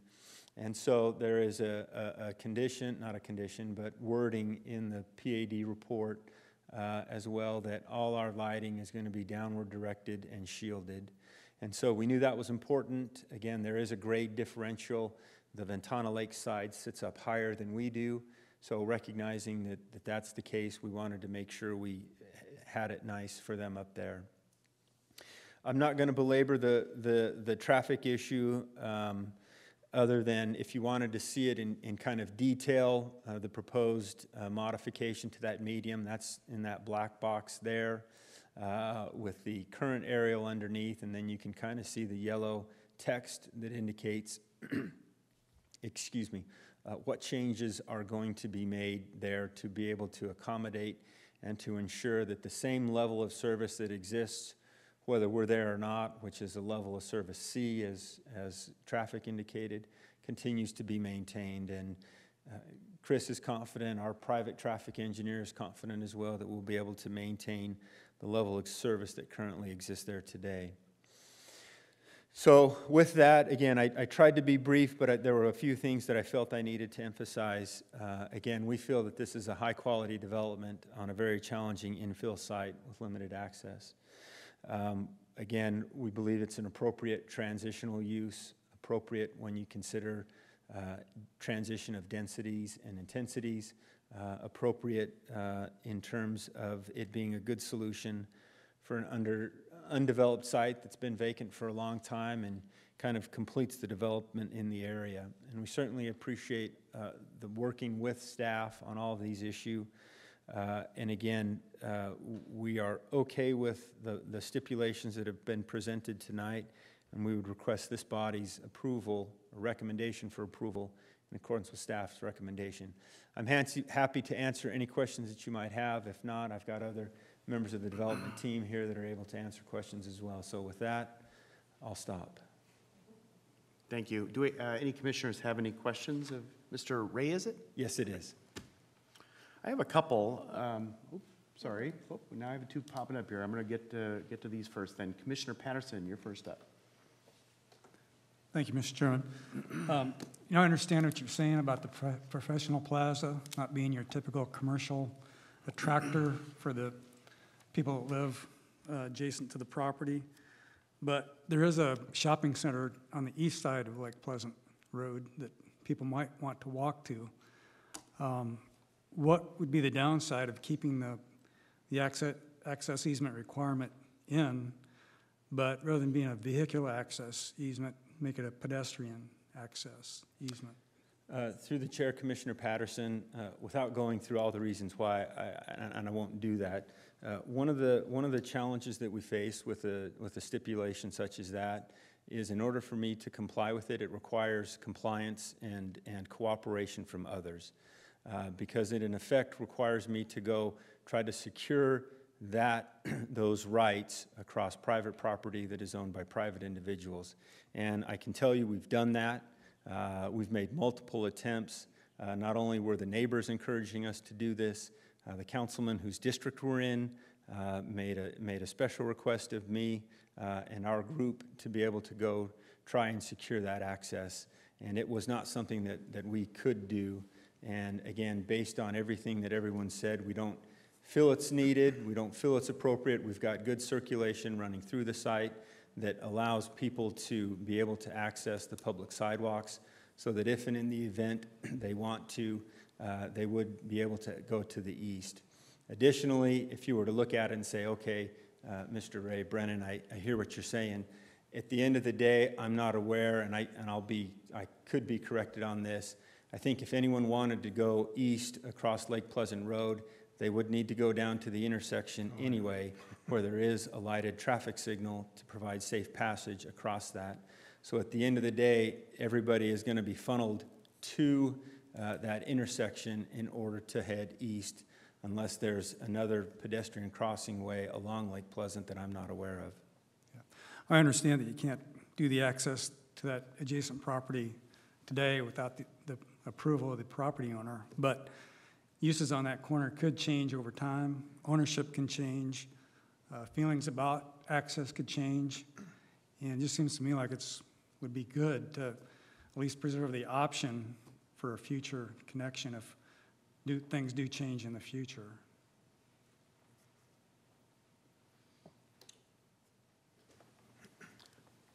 Commissioner Luski? Yeah, so I had similar, kind- you know, thought as Commissioner Patterson did about it, but I, I see your point that you would have to come down to the light no matter what, and I, I can almost guess that some of the problems with doing that was the, the liability issues of walking through the back of a parking lot and then through. Um, So, yeah, so I guess, you know, I would say that I, I'm kind of okay with that at this point. What I'd really like to just say is thank you for, for choosing Peoria to do this. Um, we're seeing a lot of infill um, lately, and we like it. I know that for communities and residents near an infill, sometimes it's not easy. Um, But it looks like you've done a wonderful job. I, I know, and I can't think of the development up at Aldi, the name of it, but up at Lake Pleasant and Happy Valley, that's going to be exactly what we were talking about, where the residents, it's a, it's a leasing community. They have restaurants and coffee shops they can walk to. Uh, I guess for them, it was all built at the same, it was going to be built at the same time, makes life a lot easier for them. But uh, we definitely appreciate you guys bringing that to us, and I think you have a, a wonderful idea here, and I think we'll probably see more of this in the future, hopefully up here in this area. So, thank you. Thank you, Commissioner. Thank you, Commissioner Luski. Uh, Just a couple of quick questions, and I apologize if I missed it in your report, but do we have an idea what the, the range of rents be for these units? Uh, I didn't say it. Okay. If you don't Um, know, you don't know, but uh, I figure you may Yeah. have a rough idea. Um, You know, that, that's always a good question, and it's, it's, it's really tough to tell. I know that where we are anticipating the range, um, based on other uh, communities similarly situated, we expect, we would expect the one-bedroom uh, to be anywhere from maybe $1,100 up to $1,200, somewhere in there. Uh, The two-bedroom uh, would be anywhere between $1,400 and $1,500. And then the three, did I say one bedroom, two bedroom? I meant two bedroom. Two-bedroom, Thank you. you said it. Uh, Then the three bedroom, in terms of a range, would be anywhere from, call it 1,600 up to 1,700 uh, a month. Okay. Where does that fall in the range of, uh, I haven't rented an apartment for quite a while. Is that tend to be kind of uh, upscale apartment uh, or rental rate, or is that kind of middle of the road? No, that is, um, uh, through the uh, chair, uh, that type of rent would be considered A-plus rent uh, in terms of compared to rental market. Okay. Thank you for that. And one last question is, uh, would management remain on site 24/7, or will the the managers live on site, or do they close up shop at six and come back in the morning? So, uh, Chairman, the way that I understand that to work is that during the lease-up phase, there will be uh, an employee on there on-site uh, that will be there, you know, normal business hours uh, until it's leased up. Uh, At that point, uh, I believe the leasing person will leave and go to another place. But there is a management company that will go and, and visit the site to check on it, to make sure the maintenance is taken care of, um, and things like that. But in terms of once it's leased up, I don't believe there's anyone there 24 hours a day, but there is obviously 24-hour management company that people can call with any problems or challenges that they have. Okay, thank you. Any other questions for commissioners? I have a uh, speaker request form. Ms. Ernst, do I have any others that have come in? Just the one? All right. I'd like to call up Eileen, and I apologize if I mess up your name here. Demoloitz? Demol? Demoloitz. Oh, I almost had it. If you could uh, approach the uh, microphone and state your name and address for the record, please. My name is Eileen Demeloitz. My address is 10416 West Runion Drive in Peoria. I am a resident of Ventana Lakes Development, and I am concerned, and some of my neighbors are concerned, about the easement to the east. If you allow the developer to drop that, that they don't need to have an easement to the east, there's no place else for the cars to go if they need them. Uh, Right at the moment, as we speak, they are building 69 houses on Beardsley and 107th Avenue. That's going to contribute to the traffic. We do not want, we at Ventana Lakes do not want people from Avilla Lago going out the emergen, in and out the emergency exit. If you have, if you look at it, the south has houses built there. The north is Beardsley. The east, they're saying they can't get an easement.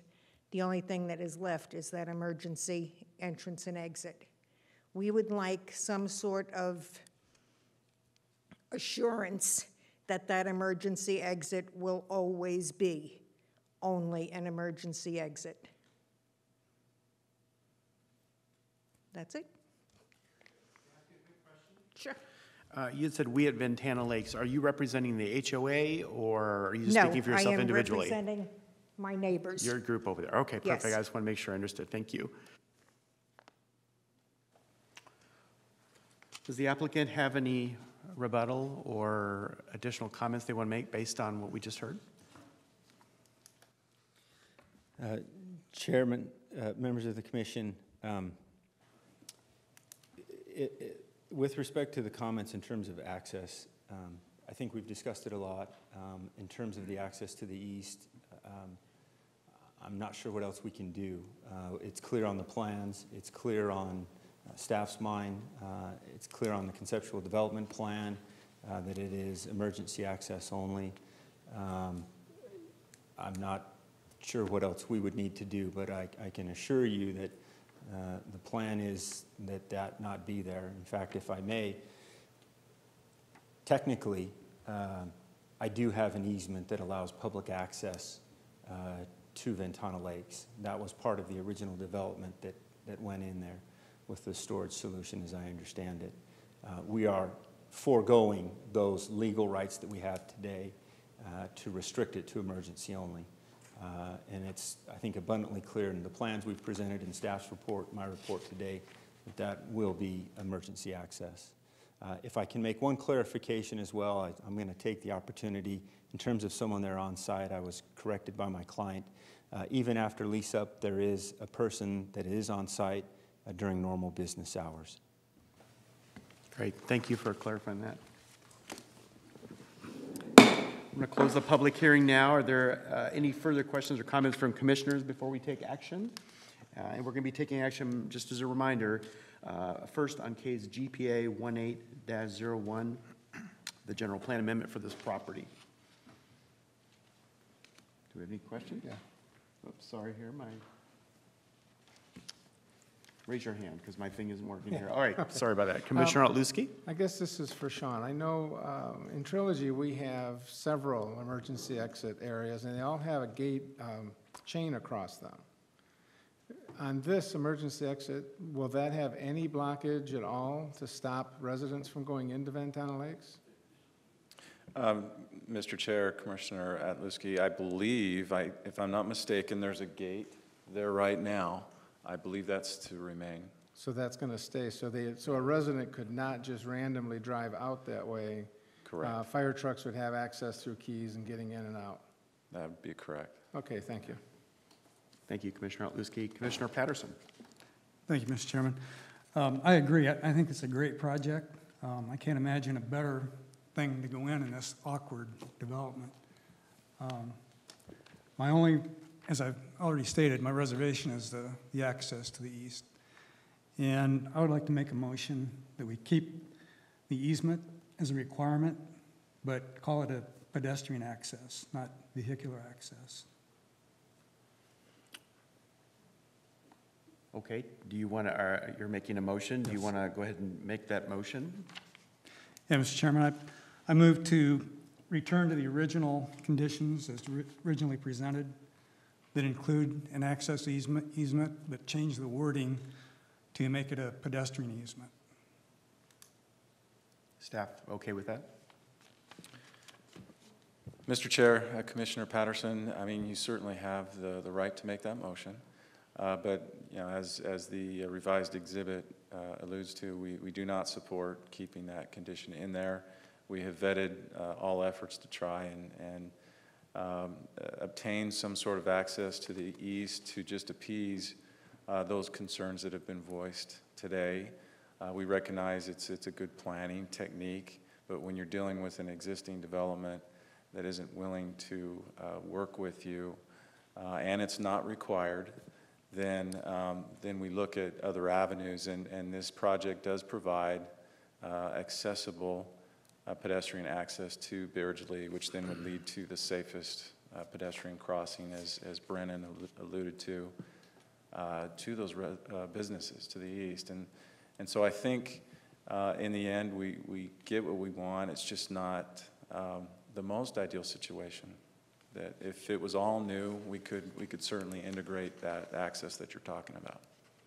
Yeah, my only point is things change over time, and we're giving away an opportunity by not getting the easement now. Well, we have a motion on the table. Do I have a second to the motion that was just made? Okay, hearing none, motion dies. Uh, Do I have a new motion? Commissioner, I motion that we approve minor general plan amendment case GPA 18-01 as presented by staff. Thank you, Commissioner Alsop. Do I have a second? I'll second that. Thank you, Commissioner Otluski. We have a motion and a second. Please vote.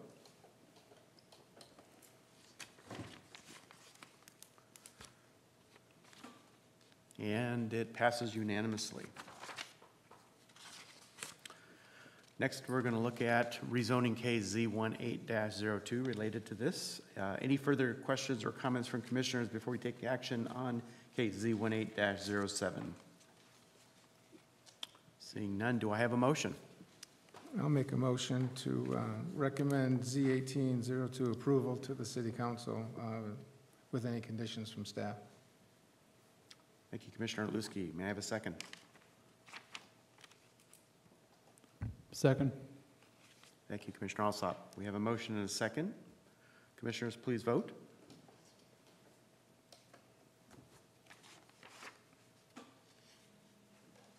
And it passes unanimously.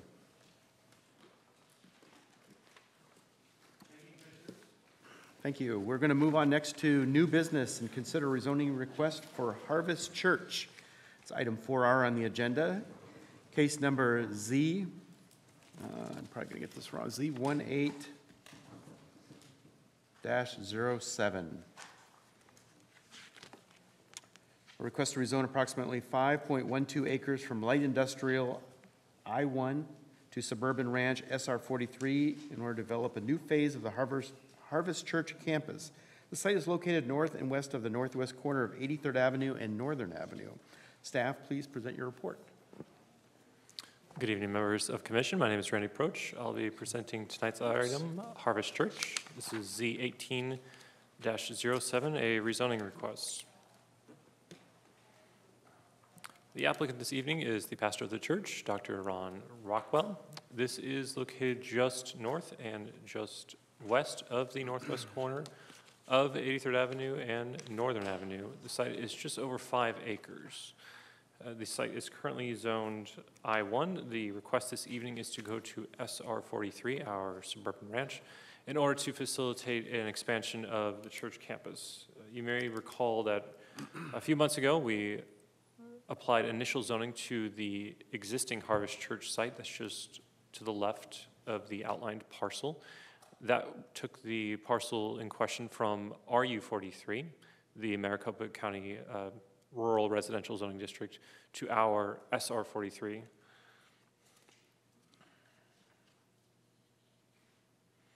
This area is a mix of mostly large lot homes in a rural environment. There's a small amount of industrial users just to the east of 83rd Avenue across the street.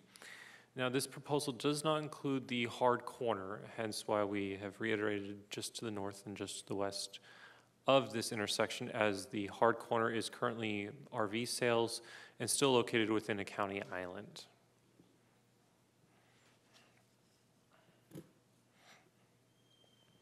This is the overall uh, conceptual development plan for the site, uh, should the proposal move forward.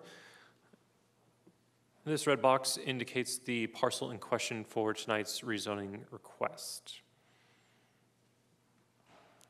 The yellow area now highlighted is the extent of the expansion. Everything to the left of the yellow shaded box is the existing campus as it exists today.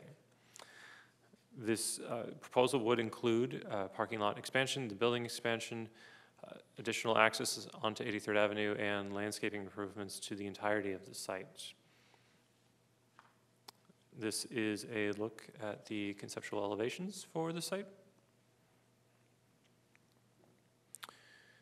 The current uh, and uh, existing, I should state, general plan land use designation for the site is low-density residential. There is no change proposed this evening. This is only the rezoning request. The proposed zoning district of SR 43 is aligned with this designation and advances the policies and goals of the general plan. The zoning map on the right-hand side of this screen is a mix of zoning districts. Our zoning districts are uh, stated SR 43, which is the current campus, and I-1 across the street. Uh, more broadly, around the area from the unincorporated Maricopa County and Glendale uh, uh, zoning districts are residential and large lot in nature. So this proposal of the city's SR 43 is aligned with the surrounding areas, in this case, regardless of political subdivision. In accordance with a public hearing, we sent out a notice of application, notice of hearing postcards, and a site posting. We had the meeting at the adjacent church site on May 2nd. Only one member of public attended that meeting. He was a church staff member. Uh, to date, and I can safely say that we have received no uh, formal support or opposition uh, to this request. For our findings, uh, they're um, light and straightforward for this uh, sort of rezoning request. It is consistent with the general plan land use designation of low-density residential. Please keep in mind there is no residential component to this proposal. This would be just an expansion of the church site. And again, as earlier stated, uh, this is consistent with the zoning and development patterns in the general vicinity, which includes some Peoria, a little bit of Maricopa County, and a little bit of Glendale. Our request for you this evening on item 4R, Z1807, is a recommendation of approval of this case to City Council, subject to the conditions outlined in our new Exhibit 1 of our updated staff report. Uh, With that, I'll take any questions. Thank you for your report. Uh, Any commissioners have any questions of staff? Just Sean passed off an easy one to Randy. It's just the way it worked out today. All right, I'm going to open the public hearing. I do not see the applicant. We have no speaker request forms. I'm going to close the public hearing. All right, any further questions or comments from commissioners before we take action on case 018-07? Seeing Uh. Commissioner may I- Nelson, that was uh, Z eighteen dash Oh, I'm so sorry. Z, thank you for that. Uh, Any further questions or comments from commissioners before we take action on case Z 18-07? Do I have a motion?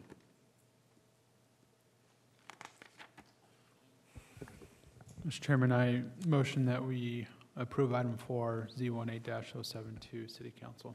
Thank you, Commissioner Allsop. Do I have a second? I'll second. Thank you, Commissioner Luskey. We have a motion and a second. Please vote.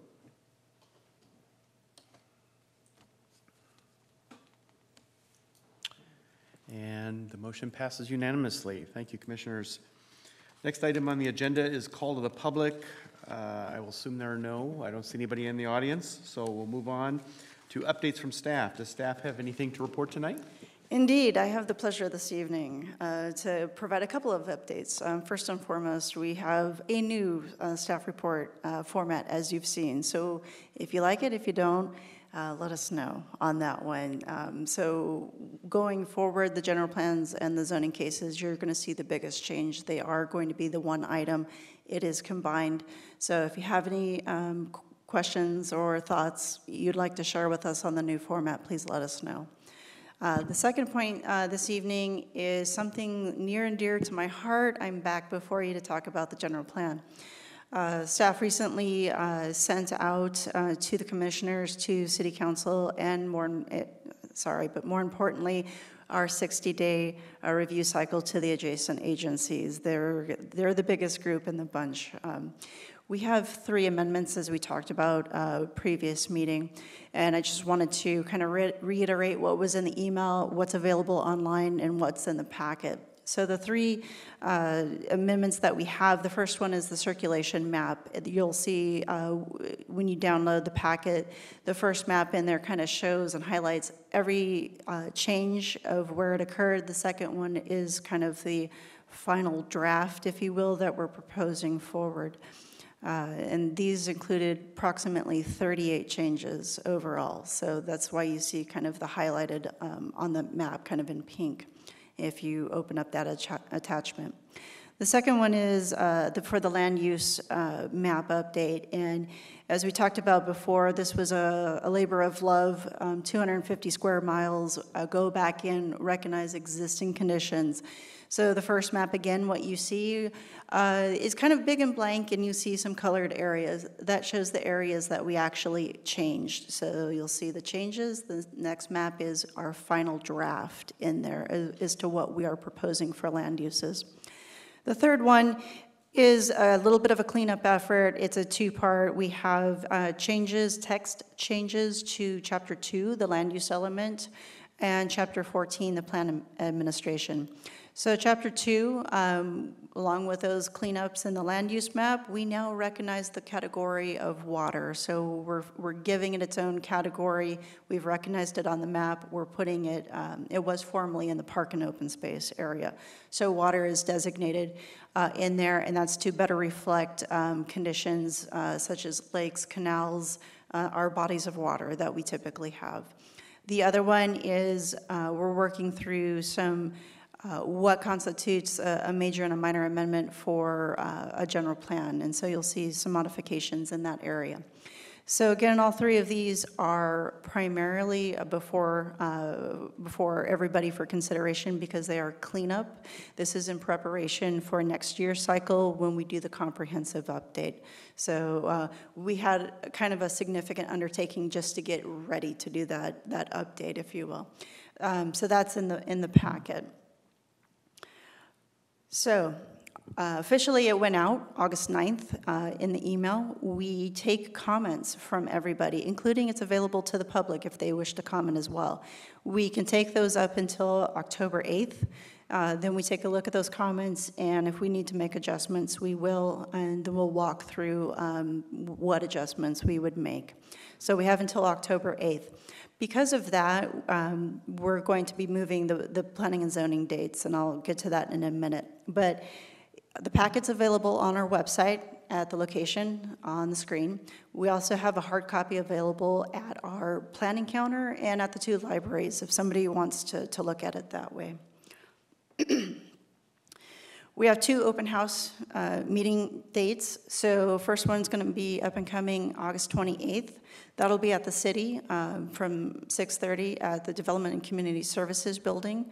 Uh, We'll be walking through those maps essentially. So if there's questions that people have, we can kind of uh, go in, in terms of walking through the changes and why those occurred. The next uh, meeting is August 29th, the next day. That's up at Cibola Vista Resort. And uh, it's at the Trailhead Building, which is kind of directly across the street from the check-in area. Same format, same information presented. It'll be open house. If we receive um, people, we'll just walk through if they have any questions.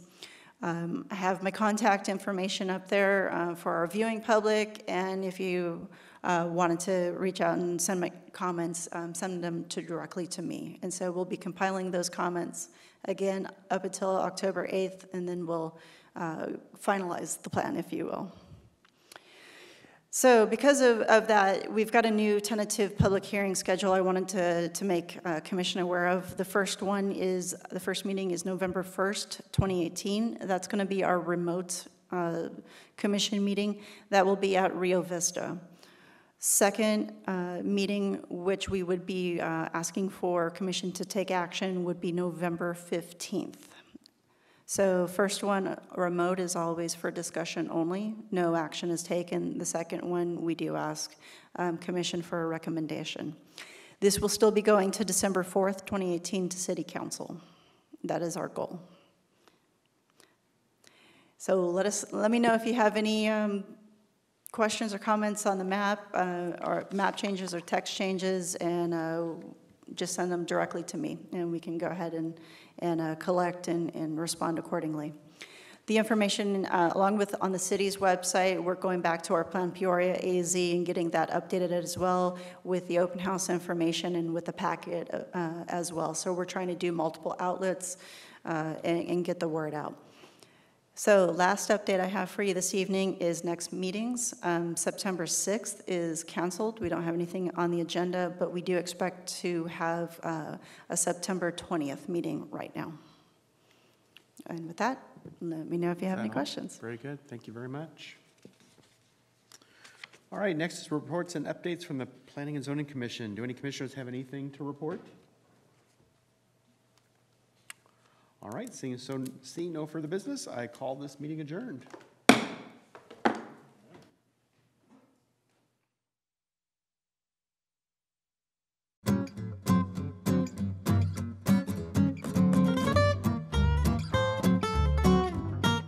Ever dreamt of being on stage as a performer or be recognized as an artist or filmmaker?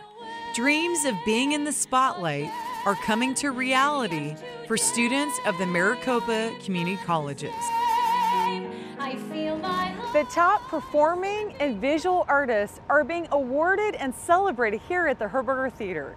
Welcome to Spirit of the Arts. I'm Andrea Zakshesky. Maricopa students are honored at the annual Artists of Promise Talent Showcase.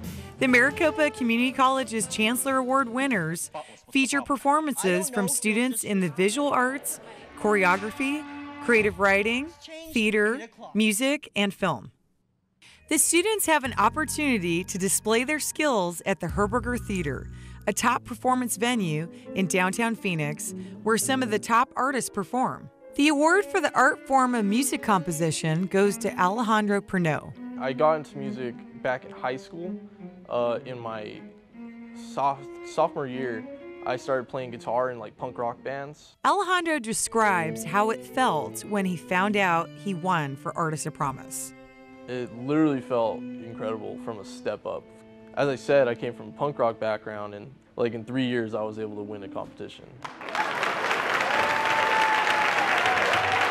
The The piece he composed is called Destitute of Perception Becoming Clarity, which is about moments in life of joy and sadness. You leave me these little notes on my pillow. The first place winner for female theater actor goes to Cedar Cody Eileen. Her love of performance goes back to just two years old. Cedar tells us what surprises her most about acting. You have to pull from everyday experiences and things that you've felt yourself, and it's very hard to detach yourself from that while still feeling the emotion and being realistic and believable. Cedar attributes her success to the theater program at Mesa Community College. The theater department there is incredible. They have so many opportunities. Even if you've never designed anything before, you can get on a main stage performance and actually get to design. It's really cool that they let you have the opportunity to try everything. Cedar plans to continue pursuing her degree and possibly open her own theater someday. Everything you do irritates me. The award for solo instrumental flute goes to Lily Andrioli. I've played other instruments, but I do prefer playing the flute because it's it's just a gorgeous instrument, you know, like you, there's many genres you can play on it.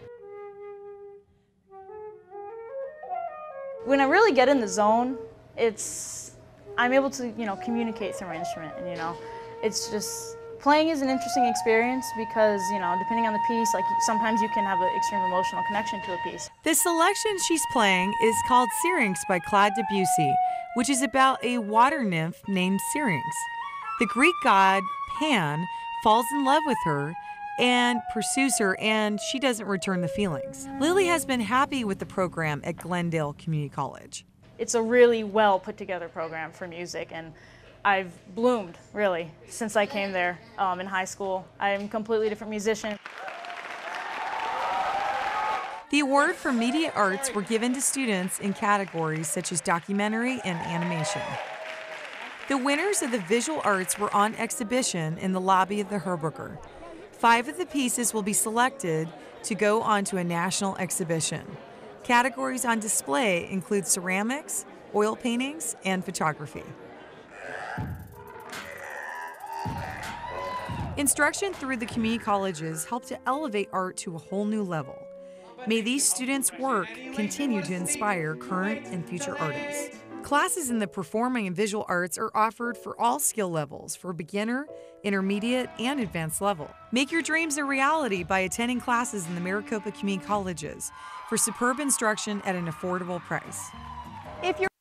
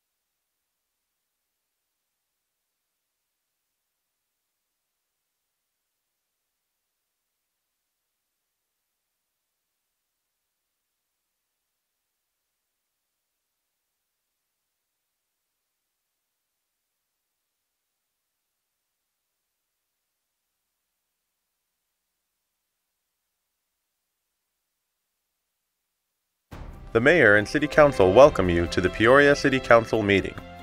As a courtesy to others, please silence all phones.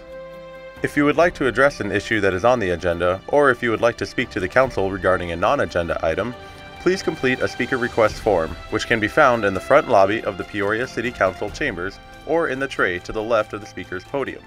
Please place the completed speaker request form in the second tray to the left of the speaker's podium labeled Request to Speak. All speakers will have three minutes to complete their comments. A countdown clock is easily visible on the left side of the wall behind the City Council dais. Only items listed on the agenda may be addressed by the Council. Since items presented as part of a speaker's request have not been listed on the agenda, and due to the requirements of open meeting laws, the Council will be unable to respond to items presented as part of the speaker's request. However, please be aware that your comments will be noted. The speaker's name will be called to speak at the appropriate time, in the order that the forms were received. Thank you for your interest and participation in the Peoria City Council meeting.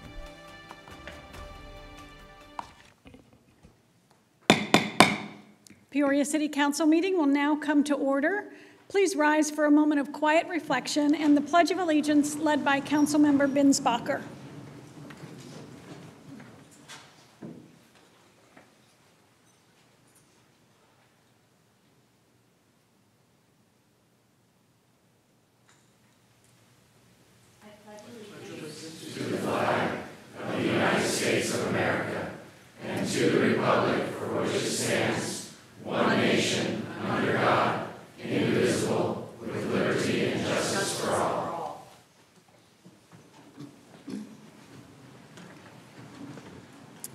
You. The clerk will please call the roll. Mayor Carlat. Here. Vice Mayor Finn. Here. Mayor Pro Tem Hunt. Here. Councilmember Patena. Here. Councilmember Binsbacher. Here. Councilmember Edwards. Here. Councilmember Leone. Here. Council Liaison Johnson. Here. Council Liaison Gilbertson. Here. Good evening and welcome to the Peoria City Council meeting of September 4th, 2018. It is a pleasure to have all of you here with us today.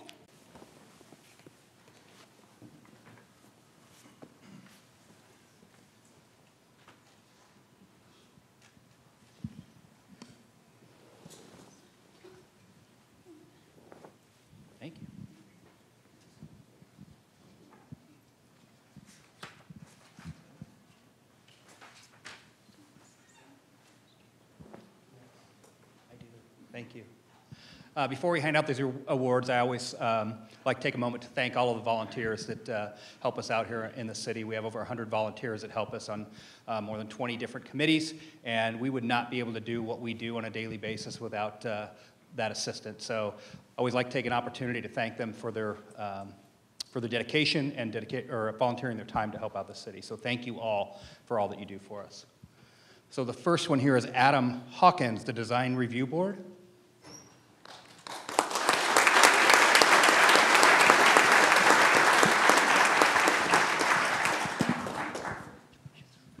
Hold on to that.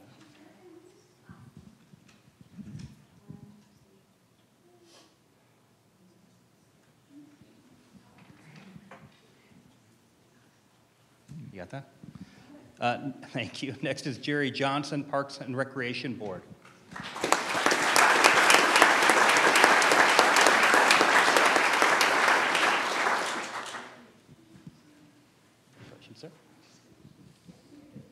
I know, we get them to volunteer for everything, I know.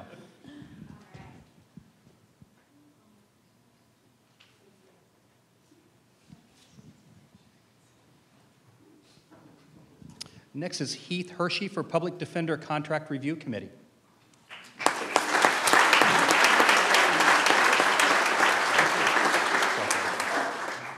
Everybody stands by you.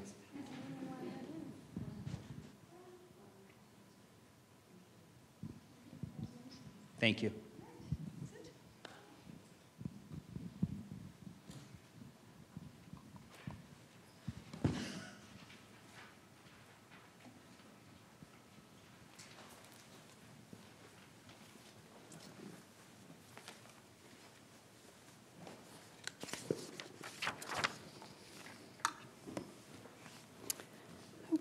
September is National Library Card Month, and I'm going to turn it over to City Manager Jeff Tyne to introduce the next presentation on the incredible library card. Thank you, Mayor and Council. Appreciate that. And as the mayor had mentioned, September is indeed National Library Card Month. And with the help of the Friends of Peoria Public Library, we are promoting the value and importance of our library programs and services and prompting everyone to indeed get their card. And so, with that, I wanted to introduce our Library Services Manager, uh, Nathaniel Mashburn. Thank you, Mr. Tyne. Mayor and Council, thanks so much for having us this evening. September is an exciting month for us at the library. It is National Get a Library Card Month, and we have partnered with our wonderful Friends group to talk to, to you this evening about the importance of a library card and what a library card can do for you. With that, I'm going to turn it over to uh, Diane Jordan, who's the president of the Friends Group. Good evening, Mayor and Council. My name is Diane Jordan. I am the president of the Friends of the Peoria Public Library. Thank you for the opportunity to speak to our community tonight. As you know, oops, sorry. As you know, the Friends of 501c nonprofit works in direct support of our libraries and literacy in our city. Some quick facts. In 2017 alone, the Friends donated over $65,000 to our libraries. And this past summer, the Friends sponsored, funded, and ran 29 free programs for over 3,600 attendees. And in less than two years, 2020, we look forward to celebrating the 100th anniversary of our Peoria libraries. But the reason I'm here today is to promote National Get a Library Card Month. The Friends are joining with the American Libraries Association, libraries nationwide, and the Peoria City Libraries to encourage all residents to sign up for a free library card.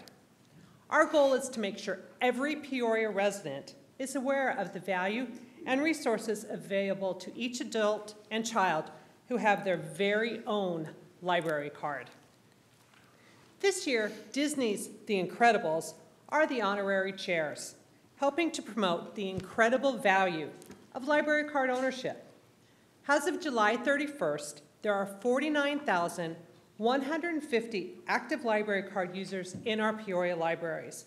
There are so many new residents moving into our city.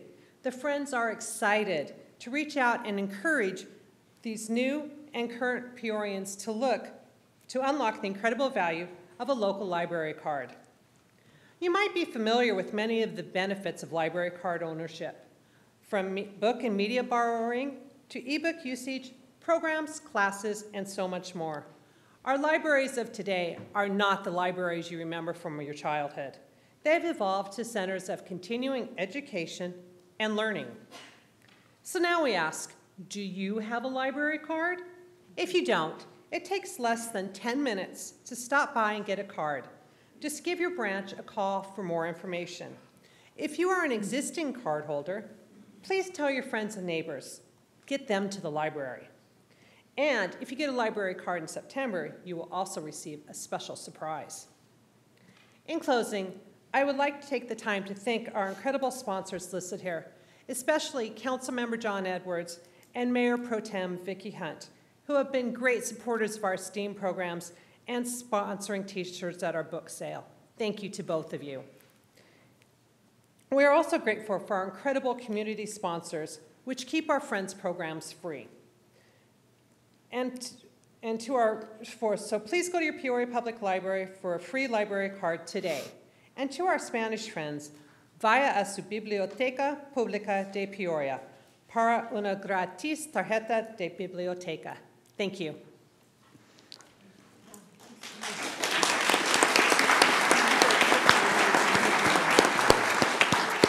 And once again, thank you uh, for giving us this opportunity. Having a library card and supporting your local library is extremely important. We couldn't do what we do without our amazing friends group. So I just want to take a minute to thank them for the incredible work that they do in our communities with programming. Uh, the, the wonderful things that they provide to all of, of our community is quite amazing. So I'd like to take a minute to say thank you, Thank you. to you and your crew over there. Thank you very much. Appreciate it.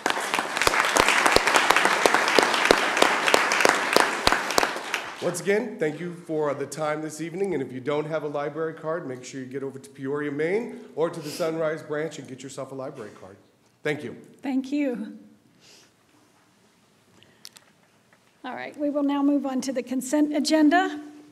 All items listed on the consent agenda are considered to be routine or have been previously reviewed by the city council and will be enacted by one motion unless a council member requests an item to be removed and considered in the normal sequence of the agenda.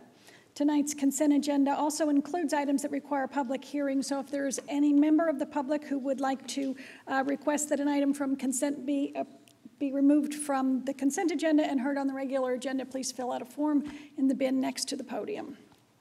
I have none of those speaker request forms. Counselor, are there any items to be removed from consent? Seeing none, do I have a motion? I'll motion. Have a motion and second. Please vote.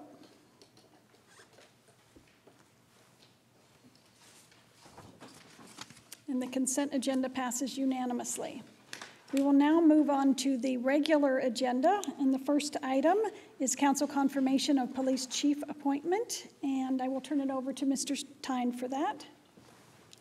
Great, thank you, Mayor and Council. And with the departure of Chief Minter, the city undertook a national search for our next police chief. And after an initial review of 55 applications and through what is safe to say an extensive interview process, we are proud to bring forward to you for your consideration Arthur Miller as our candidate for Peoria's next police chief. Just a little background Chief Miller brings an extensive law enforcement background that includes 20 years of experience in upper level management, most recently as police chief for the city of South Pasadena, California. In fact, we are fortunate to have representatives from the city of South Pasadena, including officers, uh, here to, to witness this. Uh, before that, Art served in important leadership positions with the Los Angeles Police Department as well. Arthur is a graduate of the FBI National Academy, the U.S. Army West Point Leadership Program. In addition, his education, uh, undergraduate degree in business administration and a master's degree in organizational leadership. But probably most important to all of us, we are extremely impressed with Art's personal approach to all issues really showing a penchant for uh, his leadership style. It's really a servant leadership style that he brought forward, and proving indeed that he's been a pillar in the communities that he's been in the past. And to that end, I am happy to recommend to the council Arthur Miller as Peoria's next police chief. Thank you, ma'am. Thank you, Mr. Tyne. Council, are there any questions, comments? Seeing none, do I have a motion? I'll motion. All right, we have a motion and a second, and that is to appoint um, our next police chief in the city of Peoria. Council, please vote.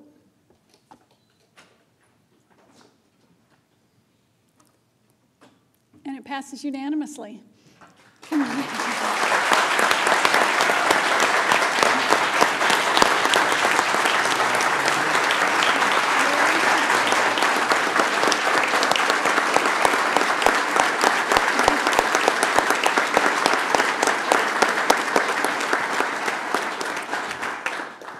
We will now move on to the official swearing in of the new Peoria Police Chief by presiding municipal judge George Anagnost.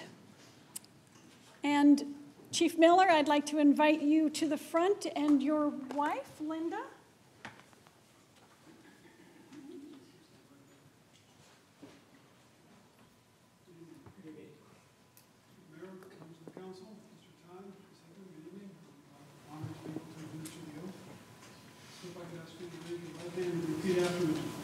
I do solemnly swear I do solemnly swear that I will support that I will support the Constitution the Constitution of the United States of the United States and the laws and the Constitution and the laws and the Constitution of the state of the state of Arizona. of Arizona. And I will And I will faithfully perform faithfully perform the duties of the office the duties of the office of Chief of Police of Chief of Police for the city of Peoria for the city of Peoria to the utmost to the utmost of my ability. of my abilities. Upon my oath, Upon my oath, I do so swear. I do so swear. Member of the Mayor and Council, members of the public, may I introduce to you the Chief of Police for the city of Peoria.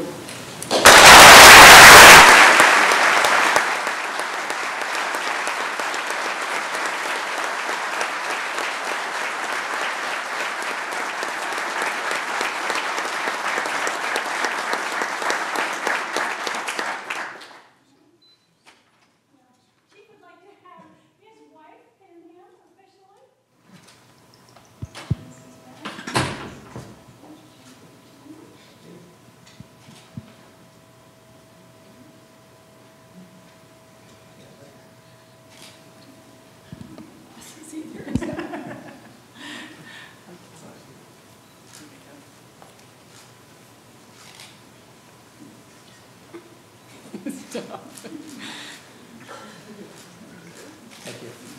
Thank you.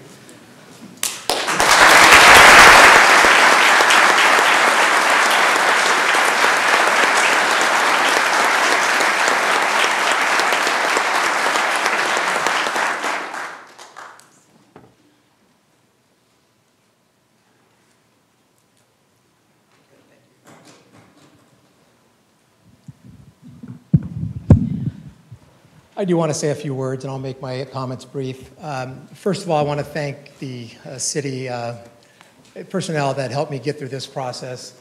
It's been, um, I actually can't believe this moment has arrived. It's been a long, it's been a long journey.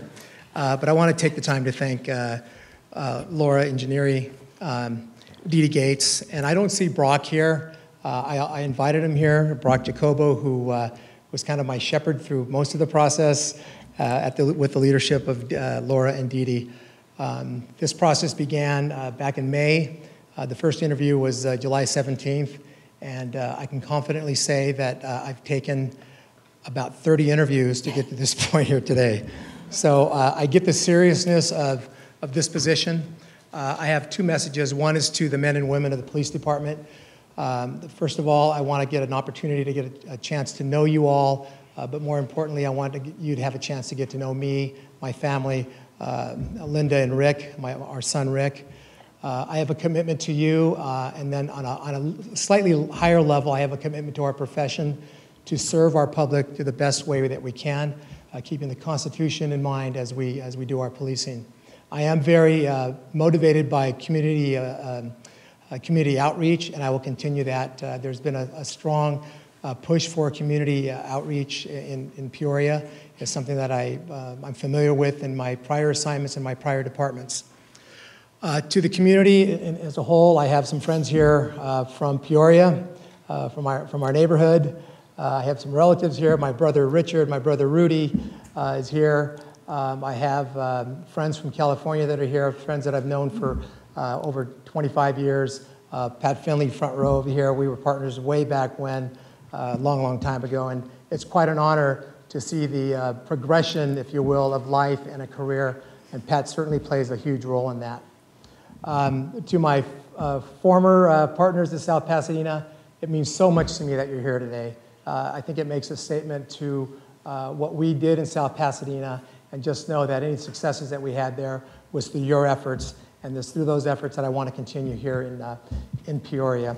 And uh, to the council, know this, that uh, we will continue to be a very responsive uh, police department, and uh, being public servants and being the head of the department, uh, I want you to know that I'll be the head servant when things are uh, get, needed to get done. And I, I commit to you as the representatives of our community, and being a community member myself, I know how important that is. Um, so anyway, thank you all for being here. Thank you for sharing this very important moment with me, and I'm looking forward to the future. Thank you so much.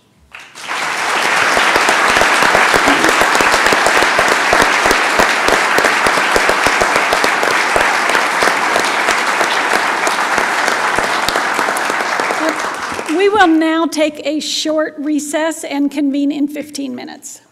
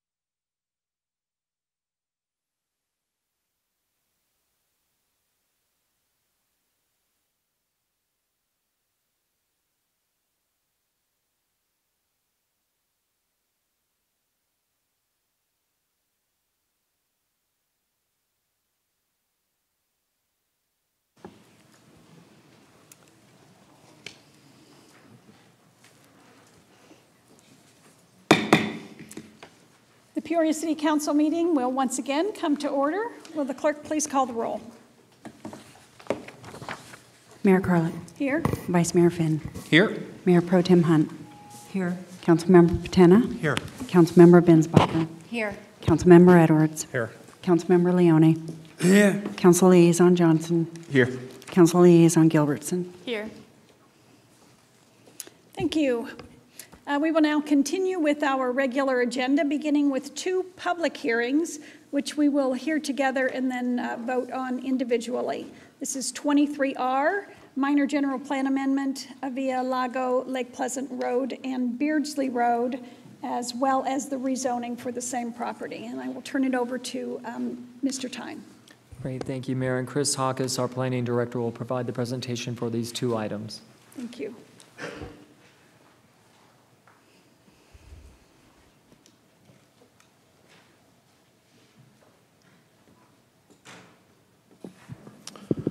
Okay, good evening, Mayor and Council.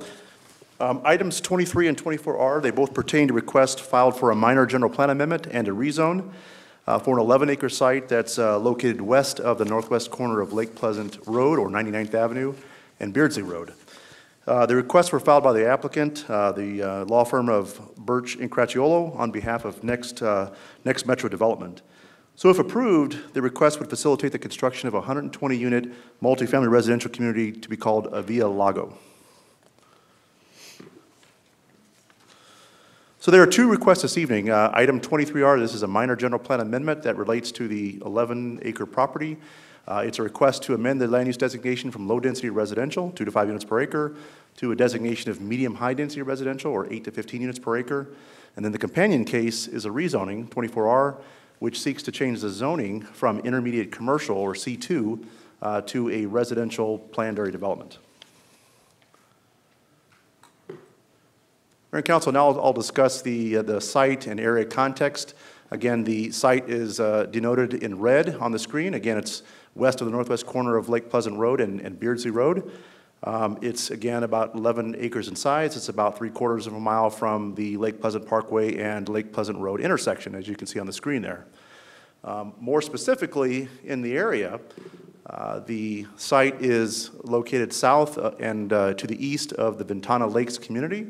Um, One home on the western side of the site in Ventana Lakes uh, butts the property. The homes in Ventana Lakes are one story, just to note that.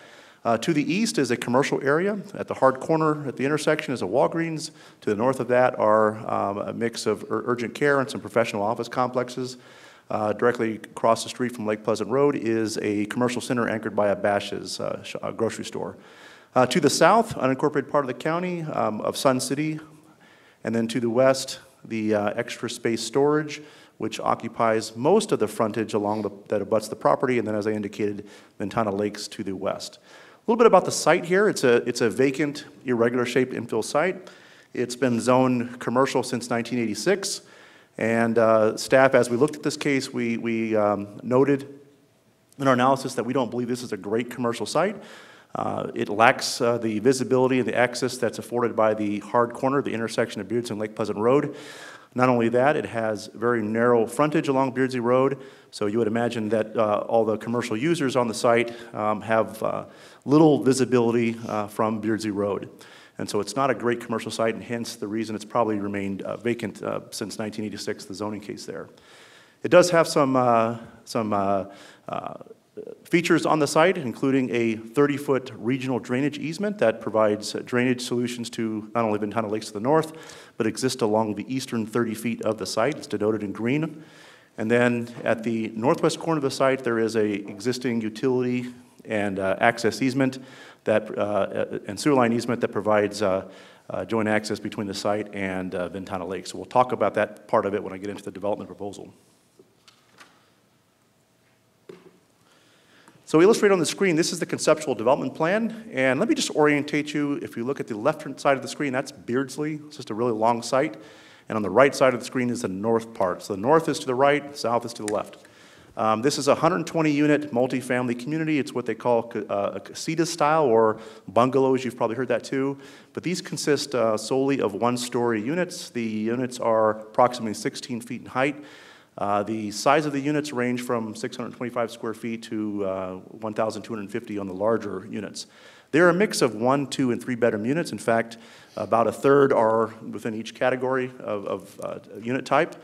Um, The, uh, the uh, development proposal will uh, integrate three distinct color material palettes that will be distributed throughout the site. Um, Also, along with the proposal is uh, 40 garage units, garage spaces, I should say. If you look at the screen, you might see some brown boxes in the middle. Those are where the garage spaces are, the covered garage spaces. And then your uh, covered spaces are denoted in gray, and then the balance of the parking spaces are guest and open parking spaces there. The, um, there are two amenity areas in the project. There's one at the southern end of the project that I'll, I'll show you a little more detail in a second, and one on the northern end of the project. Uh, in terms of access, as with any rezone case, we do require a preliminary traffic impact statement. Uh, this was prepared by a professional engineer and reviewed by our traffic engineering staff. And what they do is they look at the uh, trip generation that's proposed, they look at the, the capacity of the adjacent roadway and the level of service. And what they've determined is that the site and the existing facilities will function uh, adequately with uh, one access point at Beardsley Road. They are recommending some uh, moderate changes to the median. Uh, those moderate changes would include um, so would be full access, it would include a um, elongated uh, acceleration lane going left out, outbound, or eastbound from the site, but an elongated acceleration lane. And also, um, as inbound traffic, as they're coming into the development, are going eastbound, um, more storage room to accommodate those left turn into the development. Um, I'll show you that. Okay, so this is the southern amenity area. This is the largest amenity area. It's anchored by a pool and a spa area. You can see on the screen the different amenities that are part of that area, the putting green, the barbecue grill, fire pit, uh, bag toss, and a turf area. So that's at the southern extent of it, uh, adjacent to where the le leasing office would be as you enter the development there. And then the amenity area to the north, uh, this is a large turf area, but also includes a uh, fenced dog park as part of this uh, development dog wash, and uh, shaded seating areas as well.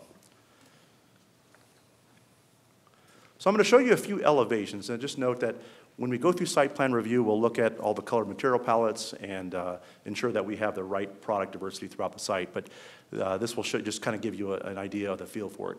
So most of the units are single unit buildings, about 68% of them are, and then about 32% are duplex, so you have two units as part of a building. But most are single unit buildings. So just to give you an idea of the flavor of, of what this development buildings would look like. Uh, this is the leasing office and the, the garage elevation as you enter the site. I mentioned the garage elevations where you have 40 of those spaces, so this is what the uh, garage elevations would look like. And then this is some of the entry detail, the main entry into the site, and then some of the wall detail around it, just to kind of give you an idea of what, uh, what the character is intended to be. Okay, so as we look at it, this uh, graphic on the screen, this is the current general plan designation. Uh, so this identifies the uh, land use designation for the area, and the general plan, of course, indicates what is sought or aspired for the area. So the general plan designation for this property is low-density residential, two to five units per acre. Uh, this is typified by detached single family, more of a suburban character. Lot sizes range from 8,000 up to 12,000, so that suburban character there. Um, you will, but one thing to note as you look at the screen is that it doesn't really match conditions on the ground. And what I mean by that is, you know, it looks like this, uh, this property is kind of floating in a larger sea of low-density residential. That's not really the case. You've got commercial to the east on both sides of Lake Pleasant Road, flanking that uh, roadway, uh, mini storage to the west, and truth be told, the Ventana Lakes community is probably a higher density than what this uh, indicates. And the reason I mentioned that is, is we're going through a, a, general plan update this year as part of this year's cycle, and we're looking to introduce a little more, uh, a little more uh, specificity to the general plan and reflect better what the on-the-ground conditions are. So it shouldn't appear as if it's just floating in the middle of of a low-density residential. In fact, it's not. Um, the proposal tonight is to redesignate the site to a medium-high density residential, 8 to 15 units per acre. Uh, they're proposing 10 units, about 10.8 units per acre. Typically, when we look at multifamily or multi-story multifamily in a suburban area, you're looking at 20 to 24 units per acre. So this is more of a, a lower density multifamily product. Um, This is a category that uh, is uh, purposed for infill and transitional sites, sites that are near services and employment opportunities. So it includes not only attached single-family, but also uh, multifamily, the lower density type. Mayor and council, this is the uh, current zoning for the site, again uh, denoted in red. Um, It's zoned intermediate commercial, it's been zoned that way since 1986. The C2 zoning category is our most uh, common commercial zoning district in the city, and it allows everything from uh, retail services, uh, uh, fast food restaurants, gas stations, and the like. So it allows quite a range of commercial services. Um, In the, in the area, the- in terms of the zoning, uh, to the north, uh, Ventana Lakes is actually zoned multifamily residential. There was a time when, when we allowed uh, single-family as part of the multifamily category. Not the case today, but back in the day, that's what we allowed. Um, To the east, as you would expect, are some commercial zoning uh, with office, with the office complex to the east, and then C2 commercial at the hard corner. Uh, To the south, again, is Sun City uh, in the county, and then west, again, the continuation of that multifamily residential as part of Ventana Lakes. So when we looked at the case, our, our analysis was this, is that, um, you know, you know, we talked about the, the commercial site and how the, the staff analysis was that it wasn't a great commercial site.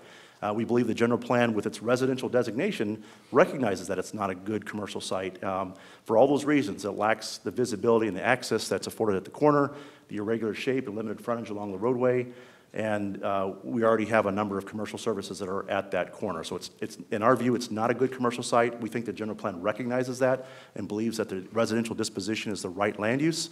Um, So it has a residential designation on this property. The applicant is still pursuing a residential designation, albeit the higher density residential uh, designation. We believe with this adjustment that this will provide a good transition. With the one-story limitation, the, the moderate density, it'll, it'll be a good, uh, it'll provide good compatibility with the area um, and, and be a good fit for, for the property. With all rezone cases and general plan cases, they go through a public hearing process. Uh, We provide uh, notification, and when the application comes in, it's called a notice of application. Uh, We have a neighborhood meeting, and we also provide notification when it's ready to go to hearing, though that- based on the size of the site. That was uh, sent to all owners within a 600-foot radius and all registered HOAs within one mile. Uh, There was a neighborhood meeting held. It was held on March uh, 29th, uh, 2018, at the Ventana Lakes Yacht Club. There was a very large att- attendance there. We had 75 members in attendance there, uh, along with the, uh, with uh, Councilmember Binsbacher and staff. The topics that were discussed there, there was concerns about access to Ventana Lakes community. If you recall that northwest access easement, there was concerns about whether that someday will become uh, vehicular access. And so what I can report to you is that there is a stipulation here that limits it to emergency access only. So if there was ever a desire in the future to come back and modify that, they would have to come back through a public hearing process and back before the council. So that is emergency access only. There was also uh, concerns or perhaps desire for um, access to the east through the commercial areas. Um, I can point out that the uh, applicant on two occasions approached the property owners to the east to see if there was the possibility of pedestrian access, and unfortunately, uh, the, the commercial uh, interest weren't, uh, they weren't interested in that access point. I will note, though, that as people think about getting to the commercial areas on the east side, they- have to uh, walk anyway to the corner, which is where the safe crossing is. So whether they're walking east or walking south, they have to end up at the, at the uh, corner where the signalization is.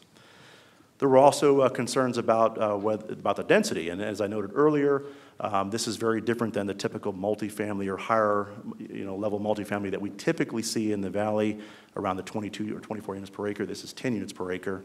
And then there was also concerns about, um, particularly in the northern end of the development, if lights, if there will be um, uh, trespass of lights onto those adjacent properties. I'll note that the overhead poles, they're going to be limited to 16 feet in height, which is the residential standard.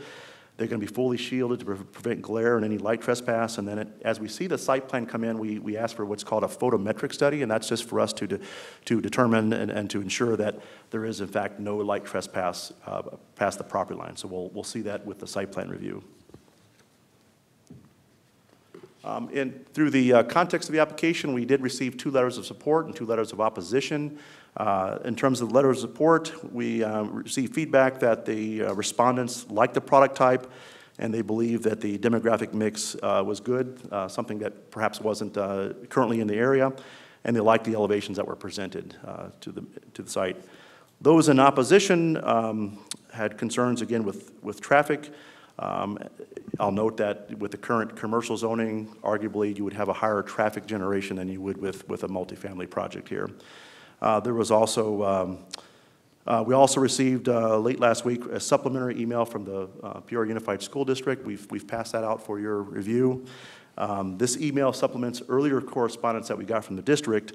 And what this latest email identifies is that uh, school capacity challenges that are in the area, and then points to the forthcoming bond election uh, that's intended to address uh, those issues.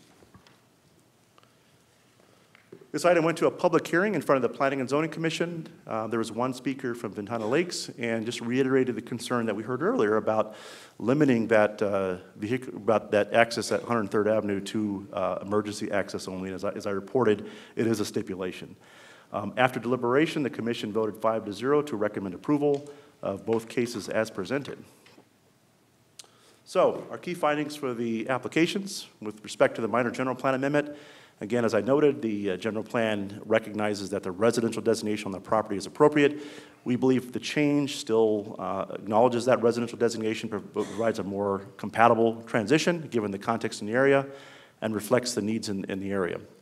And as far as the rezone is concerned, uh, it would conform to the proposed medium-high density designation at 10 units per acre, and it facilitates a new housing type that uh, will offer additional choice to the area. So Mayor and Council, with that, uh, there are two recommendations this evening. The minor general plan amendment, uh, the recommendation is to concur with the Planning and Zoning Commission and adopt a resolution to redesignate 11 acres from low-density residential to medium-high density residential.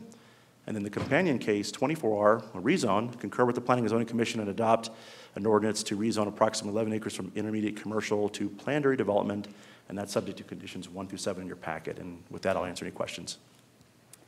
Thank you. Council, are there any questions for Mr. Hawkes? Yes, Councilmember Edwards? Thank you, Mayor. Uh, Chris, can you, um, I know this is fairly new product type uh, here to the city of Peoria. Can you kind of, what type of design considerations uh, did you work with with the developer uh, to make this a better project? Mayor, Councilmember Edwards, excellent question. You're absolutely right. Uh, This is a product type that we first saw come out of the ground at 83rd and Olive. And uh, based on that outcome, there was a few things we learned, and we've had a lot of pressure for this, this product type, quite frankly, throughout the city, and we see it throughout the valley, too. So some things that came to mind is uh, that we, when in dealing with that uh, issue, is that it's important to have good product diversity and to have um, uh, color material palettes that are distributed throughout the development, so it doesn't, so it appears like we- we've got uh, distinction in the development. So there, as I noted, there are three distinct color material palettes. The other thing we noticed too was some of those uh, units that were abutting uh, perimeter walls seemed to be, had that canyon effect, a little, little tight in. So we've uh, worked with the developer in trying to have expanded rear yards, particularly on perimeter units. So you'll see in this development, uh, yards between eight and 12 feet in, in uh, size, so much larger than, than perhaps we saw at the bungalows down here. Probably the biggest one for us is the screening of the mechanical utility meter packs. And so with this development and working with, with the developer, um, they will be introducing uh, metal screening that will cover the meters and also be painted to match the color of the buildings. So that's a big one for us. And, and then finally, I think it's always important in these developments to have ample guest parking. So not only do they meet the requirements, but it's also important to ensure that the guest parking is um, properly distributed throughout the site. Because if it's not properly distributed, then it doesn't really matter how much you have, so it's important that that take place. And so we've worked with the developer and, and trying to make sure that that's there. And I also want to recognize the fact that, you know, we have some members of the Ventana Lakes uh, uh, Association here. We have their board president and the liaison uh, to the city council. And I know I've met with Marilyn McCord on numerous occasions and uh, have worked diligently with her and you, Chris, and, um, and the developer as well, uh, to really address the concerns that the community had. And I think that uh, all of you guys have done a really good job of addressing those concerns. So I want to thank kudos to everybody. But I have a couple questions of the applicants, and so can we ask questions of that applicant now, or is it, Um, or you want to wait? During the public hearing, he's Okay, going to come you up, got it. so can wait on So that I'll for I'll a hold, hold the rest of my questions. Thank you. Councilmember Patena? Thank you, Mayor.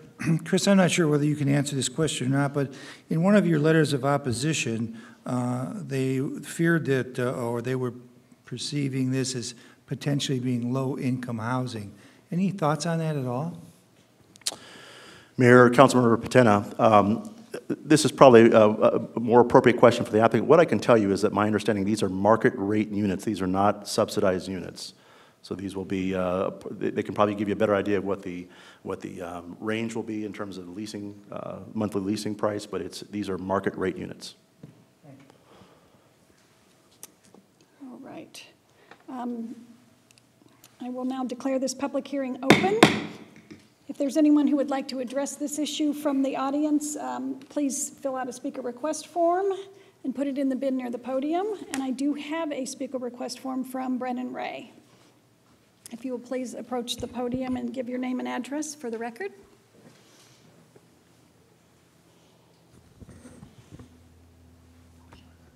Uh, Good evening, mayors, members of council. Uh, Brennan Ray, 702 East Osborn, here on behalf of the applicant NexMetro Communities. Um, First and foremost, uh, let me just say that we are very excited uh, to be here presenting this case tonight.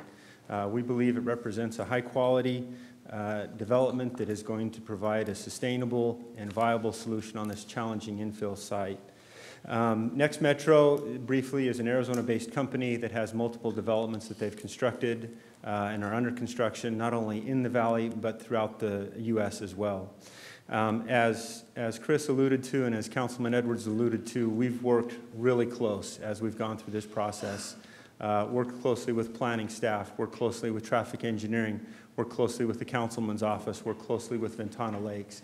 Uh, At every step of the way, we have worked, and there has been a lot of work put in by a variety of different people to ensure that this is the type of the development uh, that is appropriate for the area and that the city can be proud of as well in this location.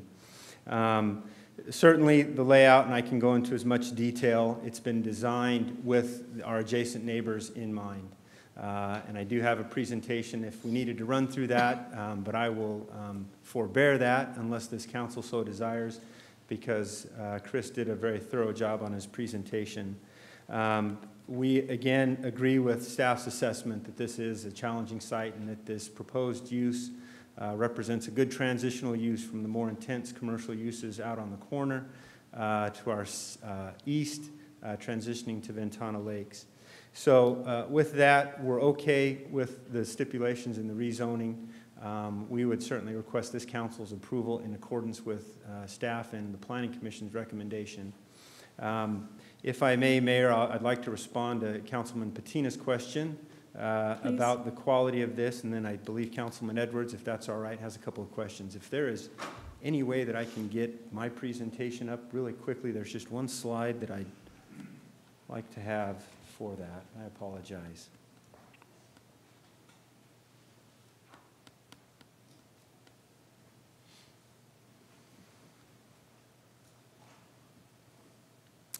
Uh, Through the mayor, Council, Councilman Patena, this slide and other members of, of council, this slide kind of represents what the Avilla brand is.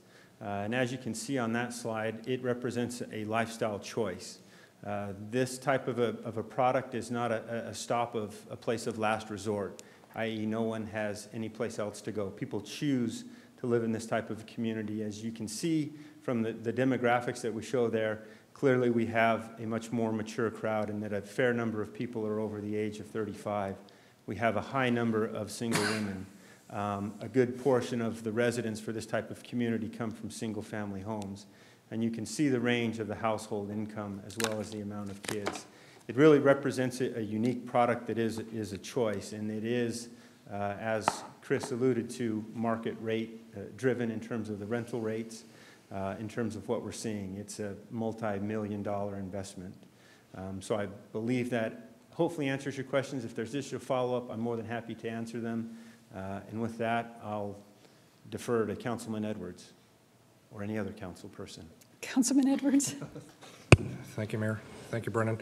Um, So uh, Chris made a comment uh, about the uh, letter from the school districts uh, the- identifying capacity challenges. Can you provide some insight into the developer's decision to bypass the assistance with PUSD?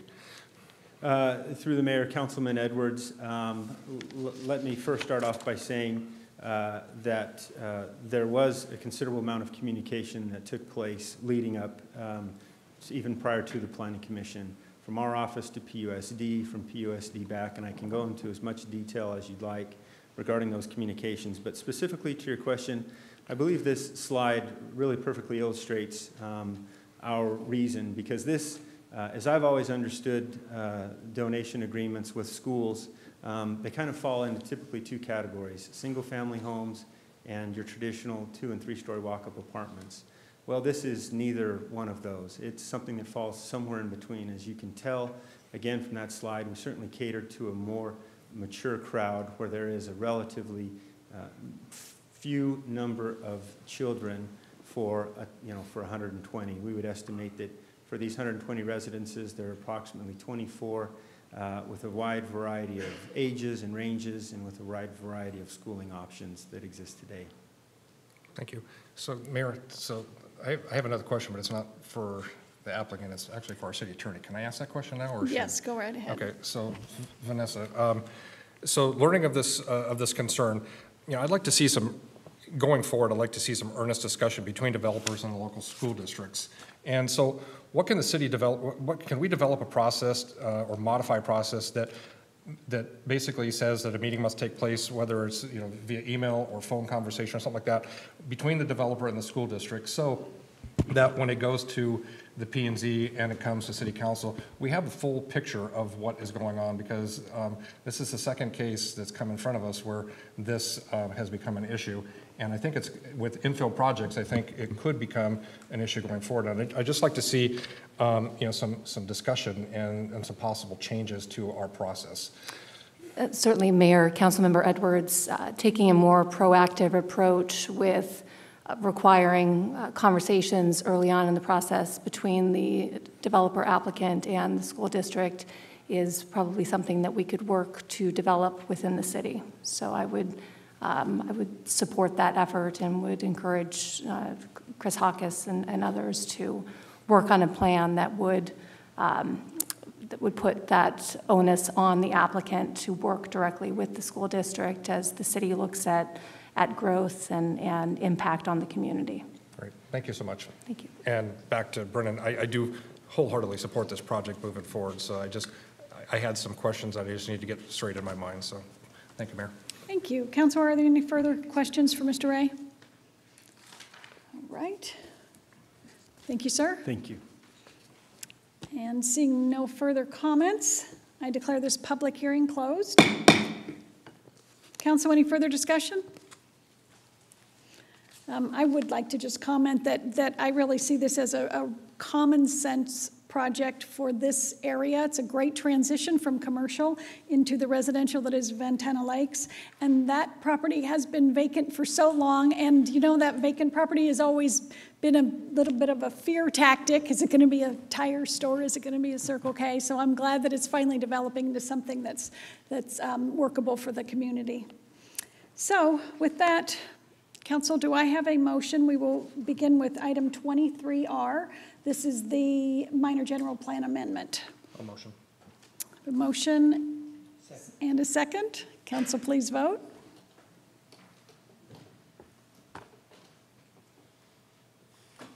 It passes unanimously. And now, item 24R, which is the rezoning. Um, Do I have a motion? I'll motion. Second. Council, please vote.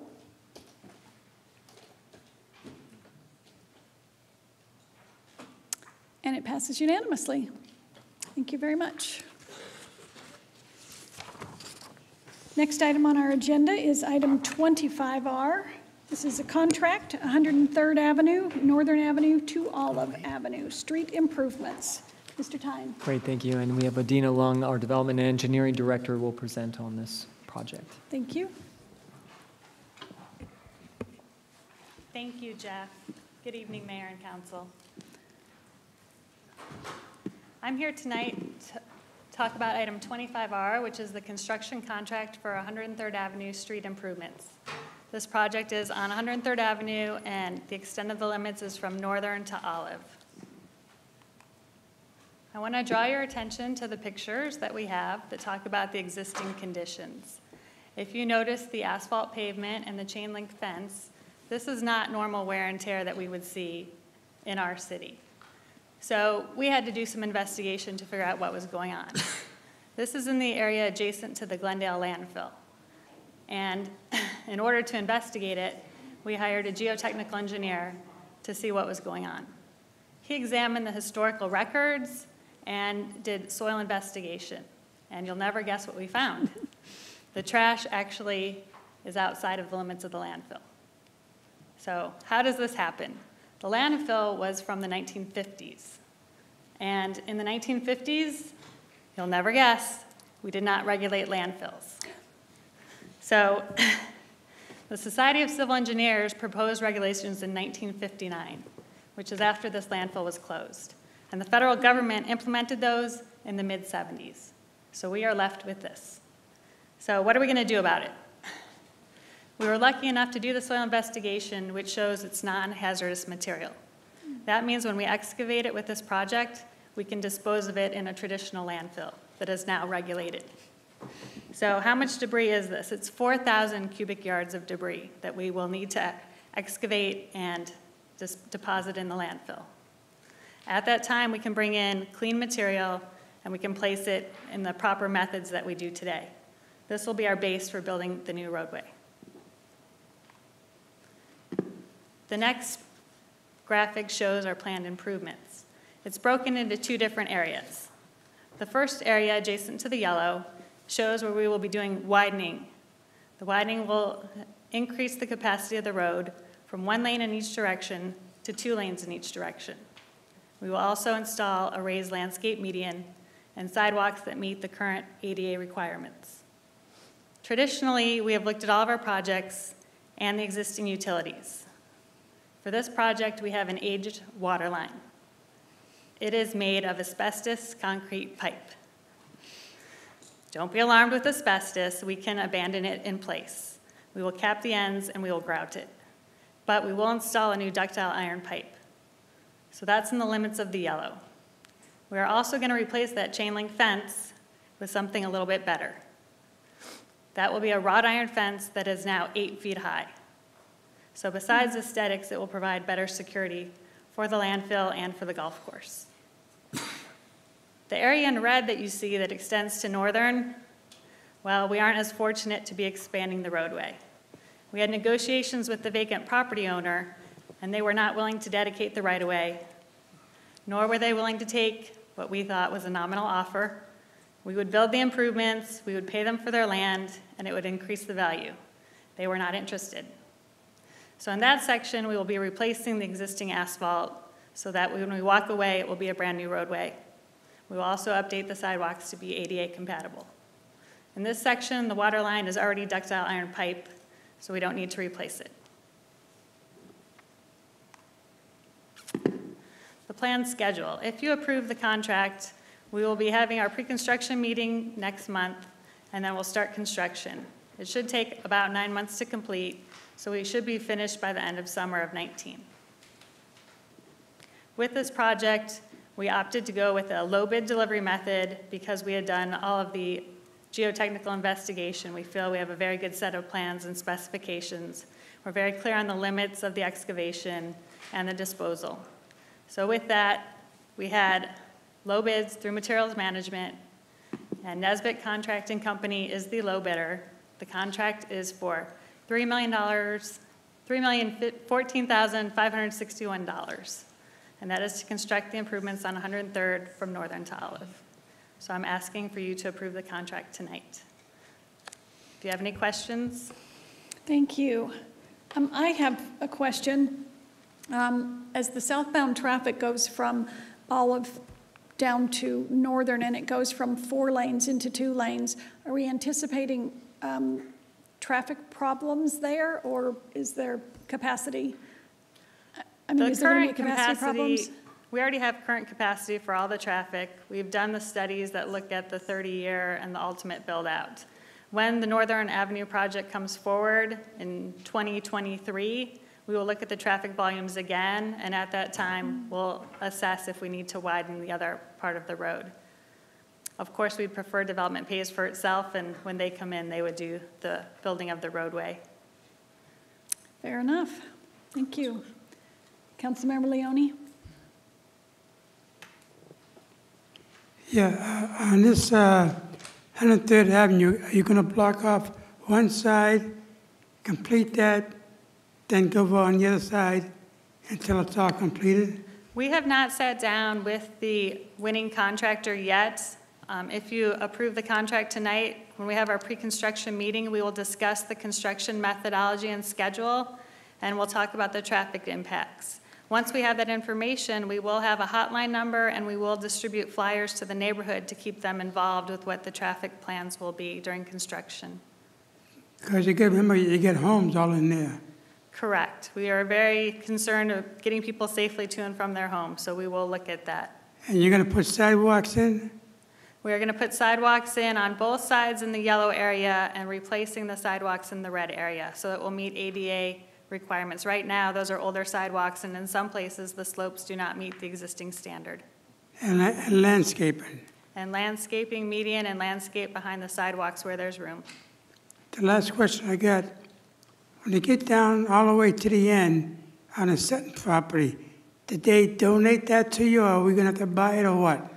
They did not donate it, they would not agree to the purchase price we offered, so we are not doing any improvements on their land except what is in the existing right-of-way. Yeah, because I don't think we'd want to buy what, what, what they want for it. They wouldn't even tell us the price during our negotiation, so I'm not sure, but Okay, thank you. Thank you. Any further questions? All right. Um, Council, do I have a motion on item 25R? So moved. Second. Thank you. Council, please vote. And it passes unanimously. Thank you. All right, next item uh, is call to the public on non-agenda items, and I have received no speaker request forms, so we will move on to reports from city manager. Mr. Tyne. Great, thank you, Mayor. Um, Just one item also I wanted to bring out quickly with regard to items 23R and 24R, and, and I think Councilmember Edwards' comments were well put uh, to look at all different processes to encourage that kind of discussion between the developer. And um, just as a reminder to the audience, the city of Peoria has a great relationship with the Peoria Unified School District. We have a number of processes in place. They've been great partners. Uh, I think we'll work very closely with our attorneys to really look at different ways that we can encourage conversations. Clearly, we're not able to get involved in financial negotiations between the third party and, and that other government entity, but we're going to do everything we can. So thank you for the, the comments on that, uh, Councilmember Edwards. Uh, before I go on, I think I'd be remiss without announcing another important appointment that we've had here at the city. Uh, for the city council, you brought forward that economic prosperity, our long-term economic development is something that is absolutely critical. Uh, and that means, of course, finding quality jobs to bring here, bring in a diversity of industry, and also making sure that commercial services are available to all of our residents over time. To do that takes uh, a concerted effort and with that in mind, we have recently hired our new economic development director to help us with these, these ambitious goals. And with that, I'd like to introduce in the audience, we have Rick Buss, our new economic development director. Uh, just a little background, Rick, yeah, you do have to stand. yes. Rick, uh, just a little background. His education includes a bachelor's in international marketing, a master's in public administration, and a master's in sustainability. In addition, he has worked for the cities uh, in leadership positions with the cities of Maricopa, Gila Bend, and Surprise, but also has also commercial and private sector experience, uh, including uh, with uh, being the CEO of a technical company uh, or technology company, also being involved with a NASDAQ uh, related company as well. Uh, he has an outstanding relationship in the community, both with the business community and with government officials throughout the Valley of the Sun. Clearly, yet another servant leader that we have hired here. Uh, he is focused on relationship, very inclusive and collaborative in his approach. So we're very excited to have Rick work for us. Uh, Welcome.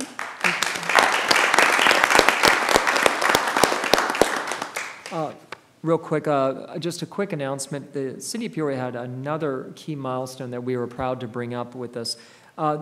Through the Arizona Department of Public Health, there is a program called the Healthy Arizona Work Sites Program.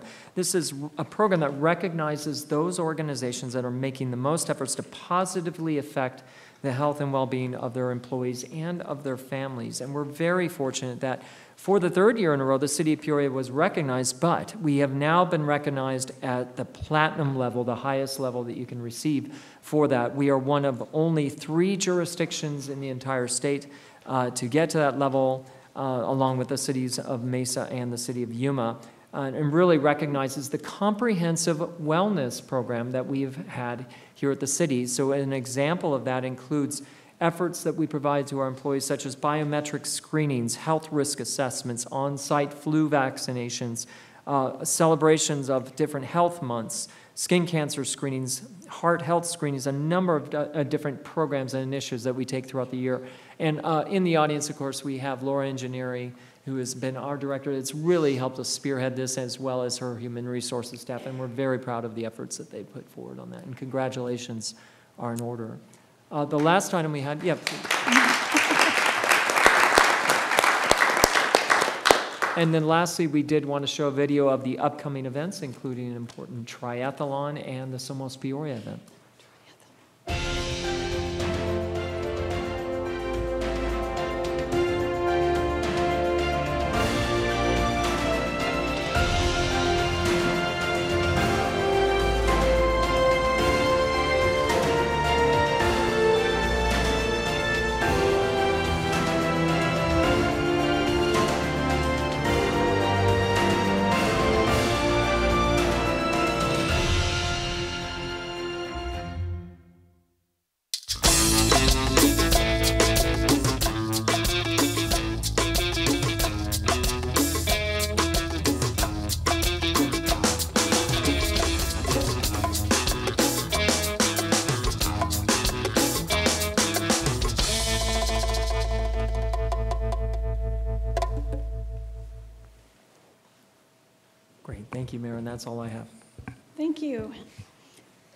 Council Liaison Johnson? Uh, Thank you, Mayor. Uh, I'd like to conge- congratulate Police Chief Arthur Miller on his new position. Um, I would also like to thank the mayor and council for allowing me to attend the League of Cities this year. Uh, We got to represent the city of Peoria by holding uh, the Peoria flag.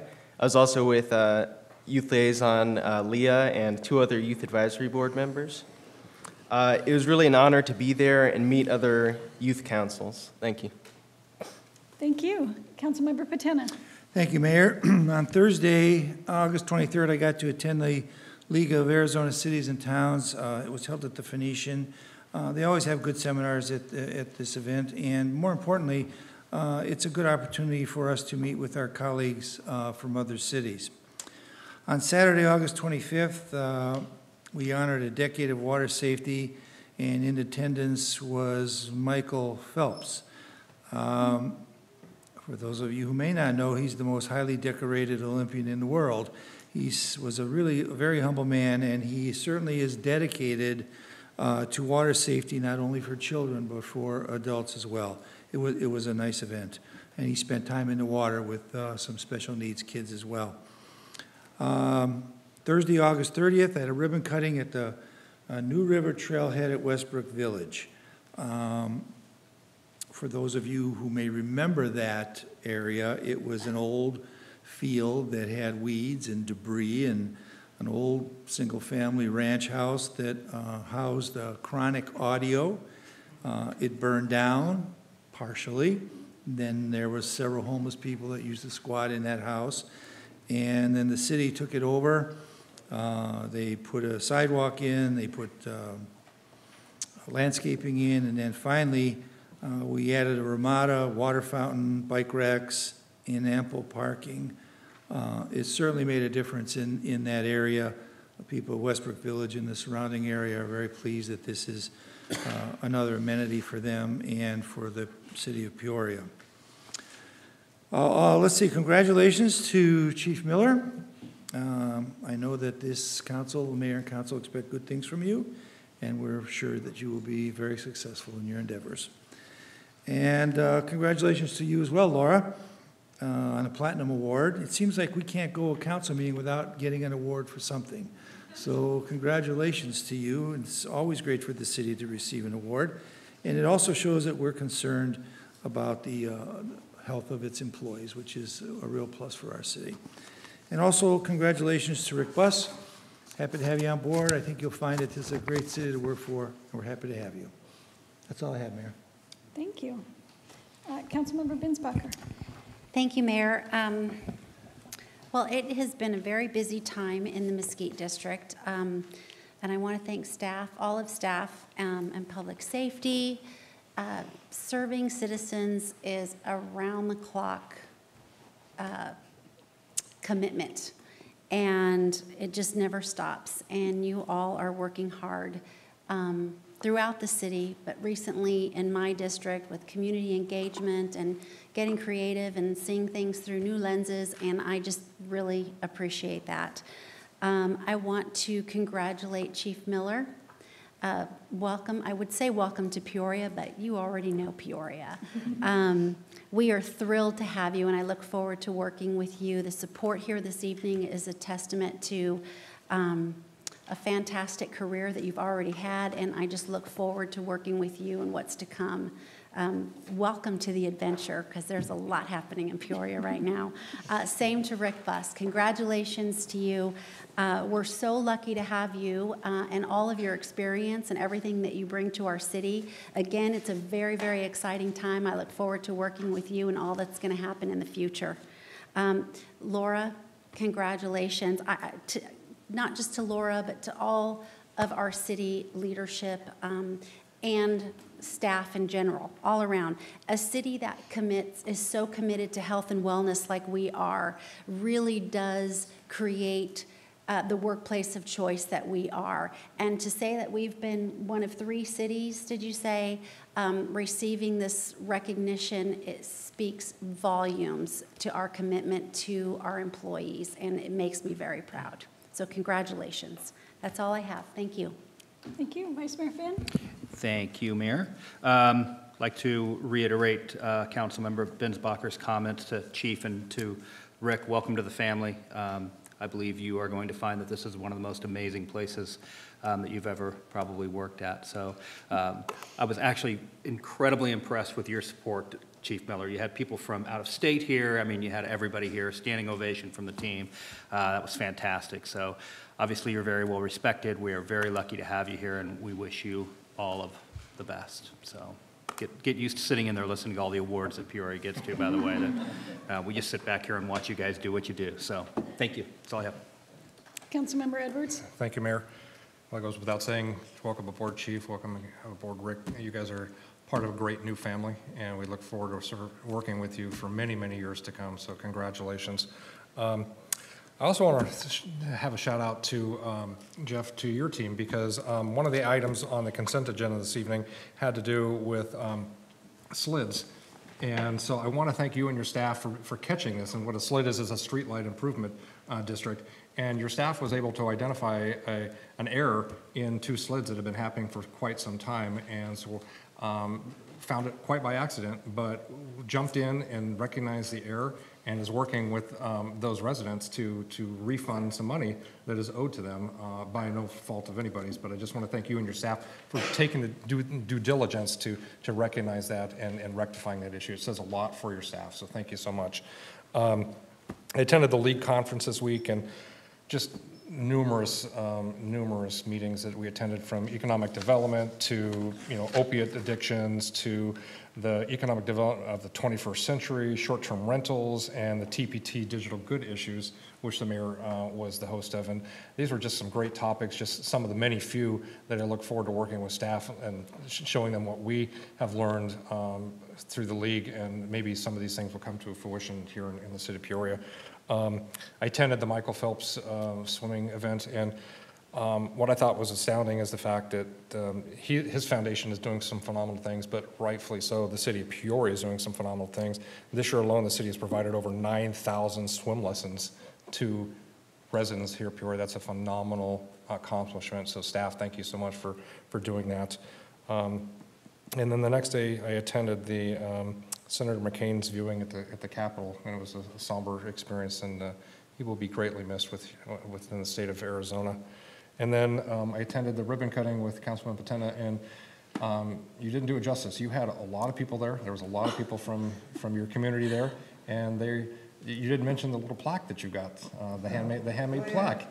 So he, uh, John Sefton uh, had a, a plaque made of, I believe, and I may be doing it justice, but you had a rendering on a napkin several years ago of what you wanted the trailhead sign to look like. And so John Sefton had taken that napkin and recreated it on a piece of wood and presented that to you at the, at the event. So that was. Um, So it was, it was great to see the turnout of the residents of your community. I- It's just a great addition to our trail system here in Peoria, just one of many uh, more to continue. So I thank you so much for taking the dedication and making that extension of our trail system. And I want to take a shout out to the uh, ASME group as well. I want to thank you guys for having your uh, Employee Appreciation uh, Day over at Wet and Wild this weekend, though I wasn't able to attend because I had prior commitments, but my understanding is you had over 355 employees and their families in attendance, and that's a great turnout, and so thank you so much for putting that on, putting that event on for uh, the city staff. So thank you, Mayor. Thank you. Councilmember Hunt? Well, I know you two are tired of being welcomed, right? But I'm going to say it anyway. Welcome, Chief, and welcome, um, Rick. It's getting late for me. Um, You have landed in an amazing city, and if you don't already know it, uh, you will very soon, and we're very fortunate to have you. Um, you guys mentioned the uh, League of Cities. Uh, Our mayor made us proud by leading one of the sessions. What was the name of it? It was council manager form of government. Our council management form of government. We're very fortunate to have that form of government rather than the strong mayor form that eastern cities have. Um, And also, I wanted to congratulate, ask me what better way to celebrate Labor Day than by having your labor force go out to a water park with their kids and families and uh, just celebrate and have a whooping good time out there. And what a better place in this heat than to be at a water park. Um, I just wanted to reiterate, for those of you that might be listening at home, please get library cards, get your kids' library cards, and even if your kids are tiny, if they're preschoolers, they can still get a library card and let them hold that in their hand and take them to the library. You'll be establishing habits that they will use the rest of their lives in all areas of their life. Help them become readers. It's probably the most important thing you can do for your children when they're little. And I want to thank both of our public libraries as well as our school libraries. Don't forget the, the school libraries. Uh, they're manned by parapros now, and those women, the ones that I know and that I work with, just do a yeoman's job in creating programs to make kids fall in love with reading. And our Friends of the Library, they are some of the best friends that Peoria has. Uh, they cannot be beat. So thank you all for being with us this evening, and that's all I have. Thank you. Councilmember Leone? Yes, thank you. Just, just want to mention that uh, I was with the, the uh, League of Cities with the kids, and a lot of grown-ups, all, all the cities are there, about 80 of them. And it's just great to watch our kids carry the flag down and be proud of Peoria. That, that's one thing that we do every year, and this is for the kids to work with that flag, and we don't need, uh, we, we don't need a city council person to work with them because they know their way around. I just also want to mention that I went to a firefighters charity, and it was just great.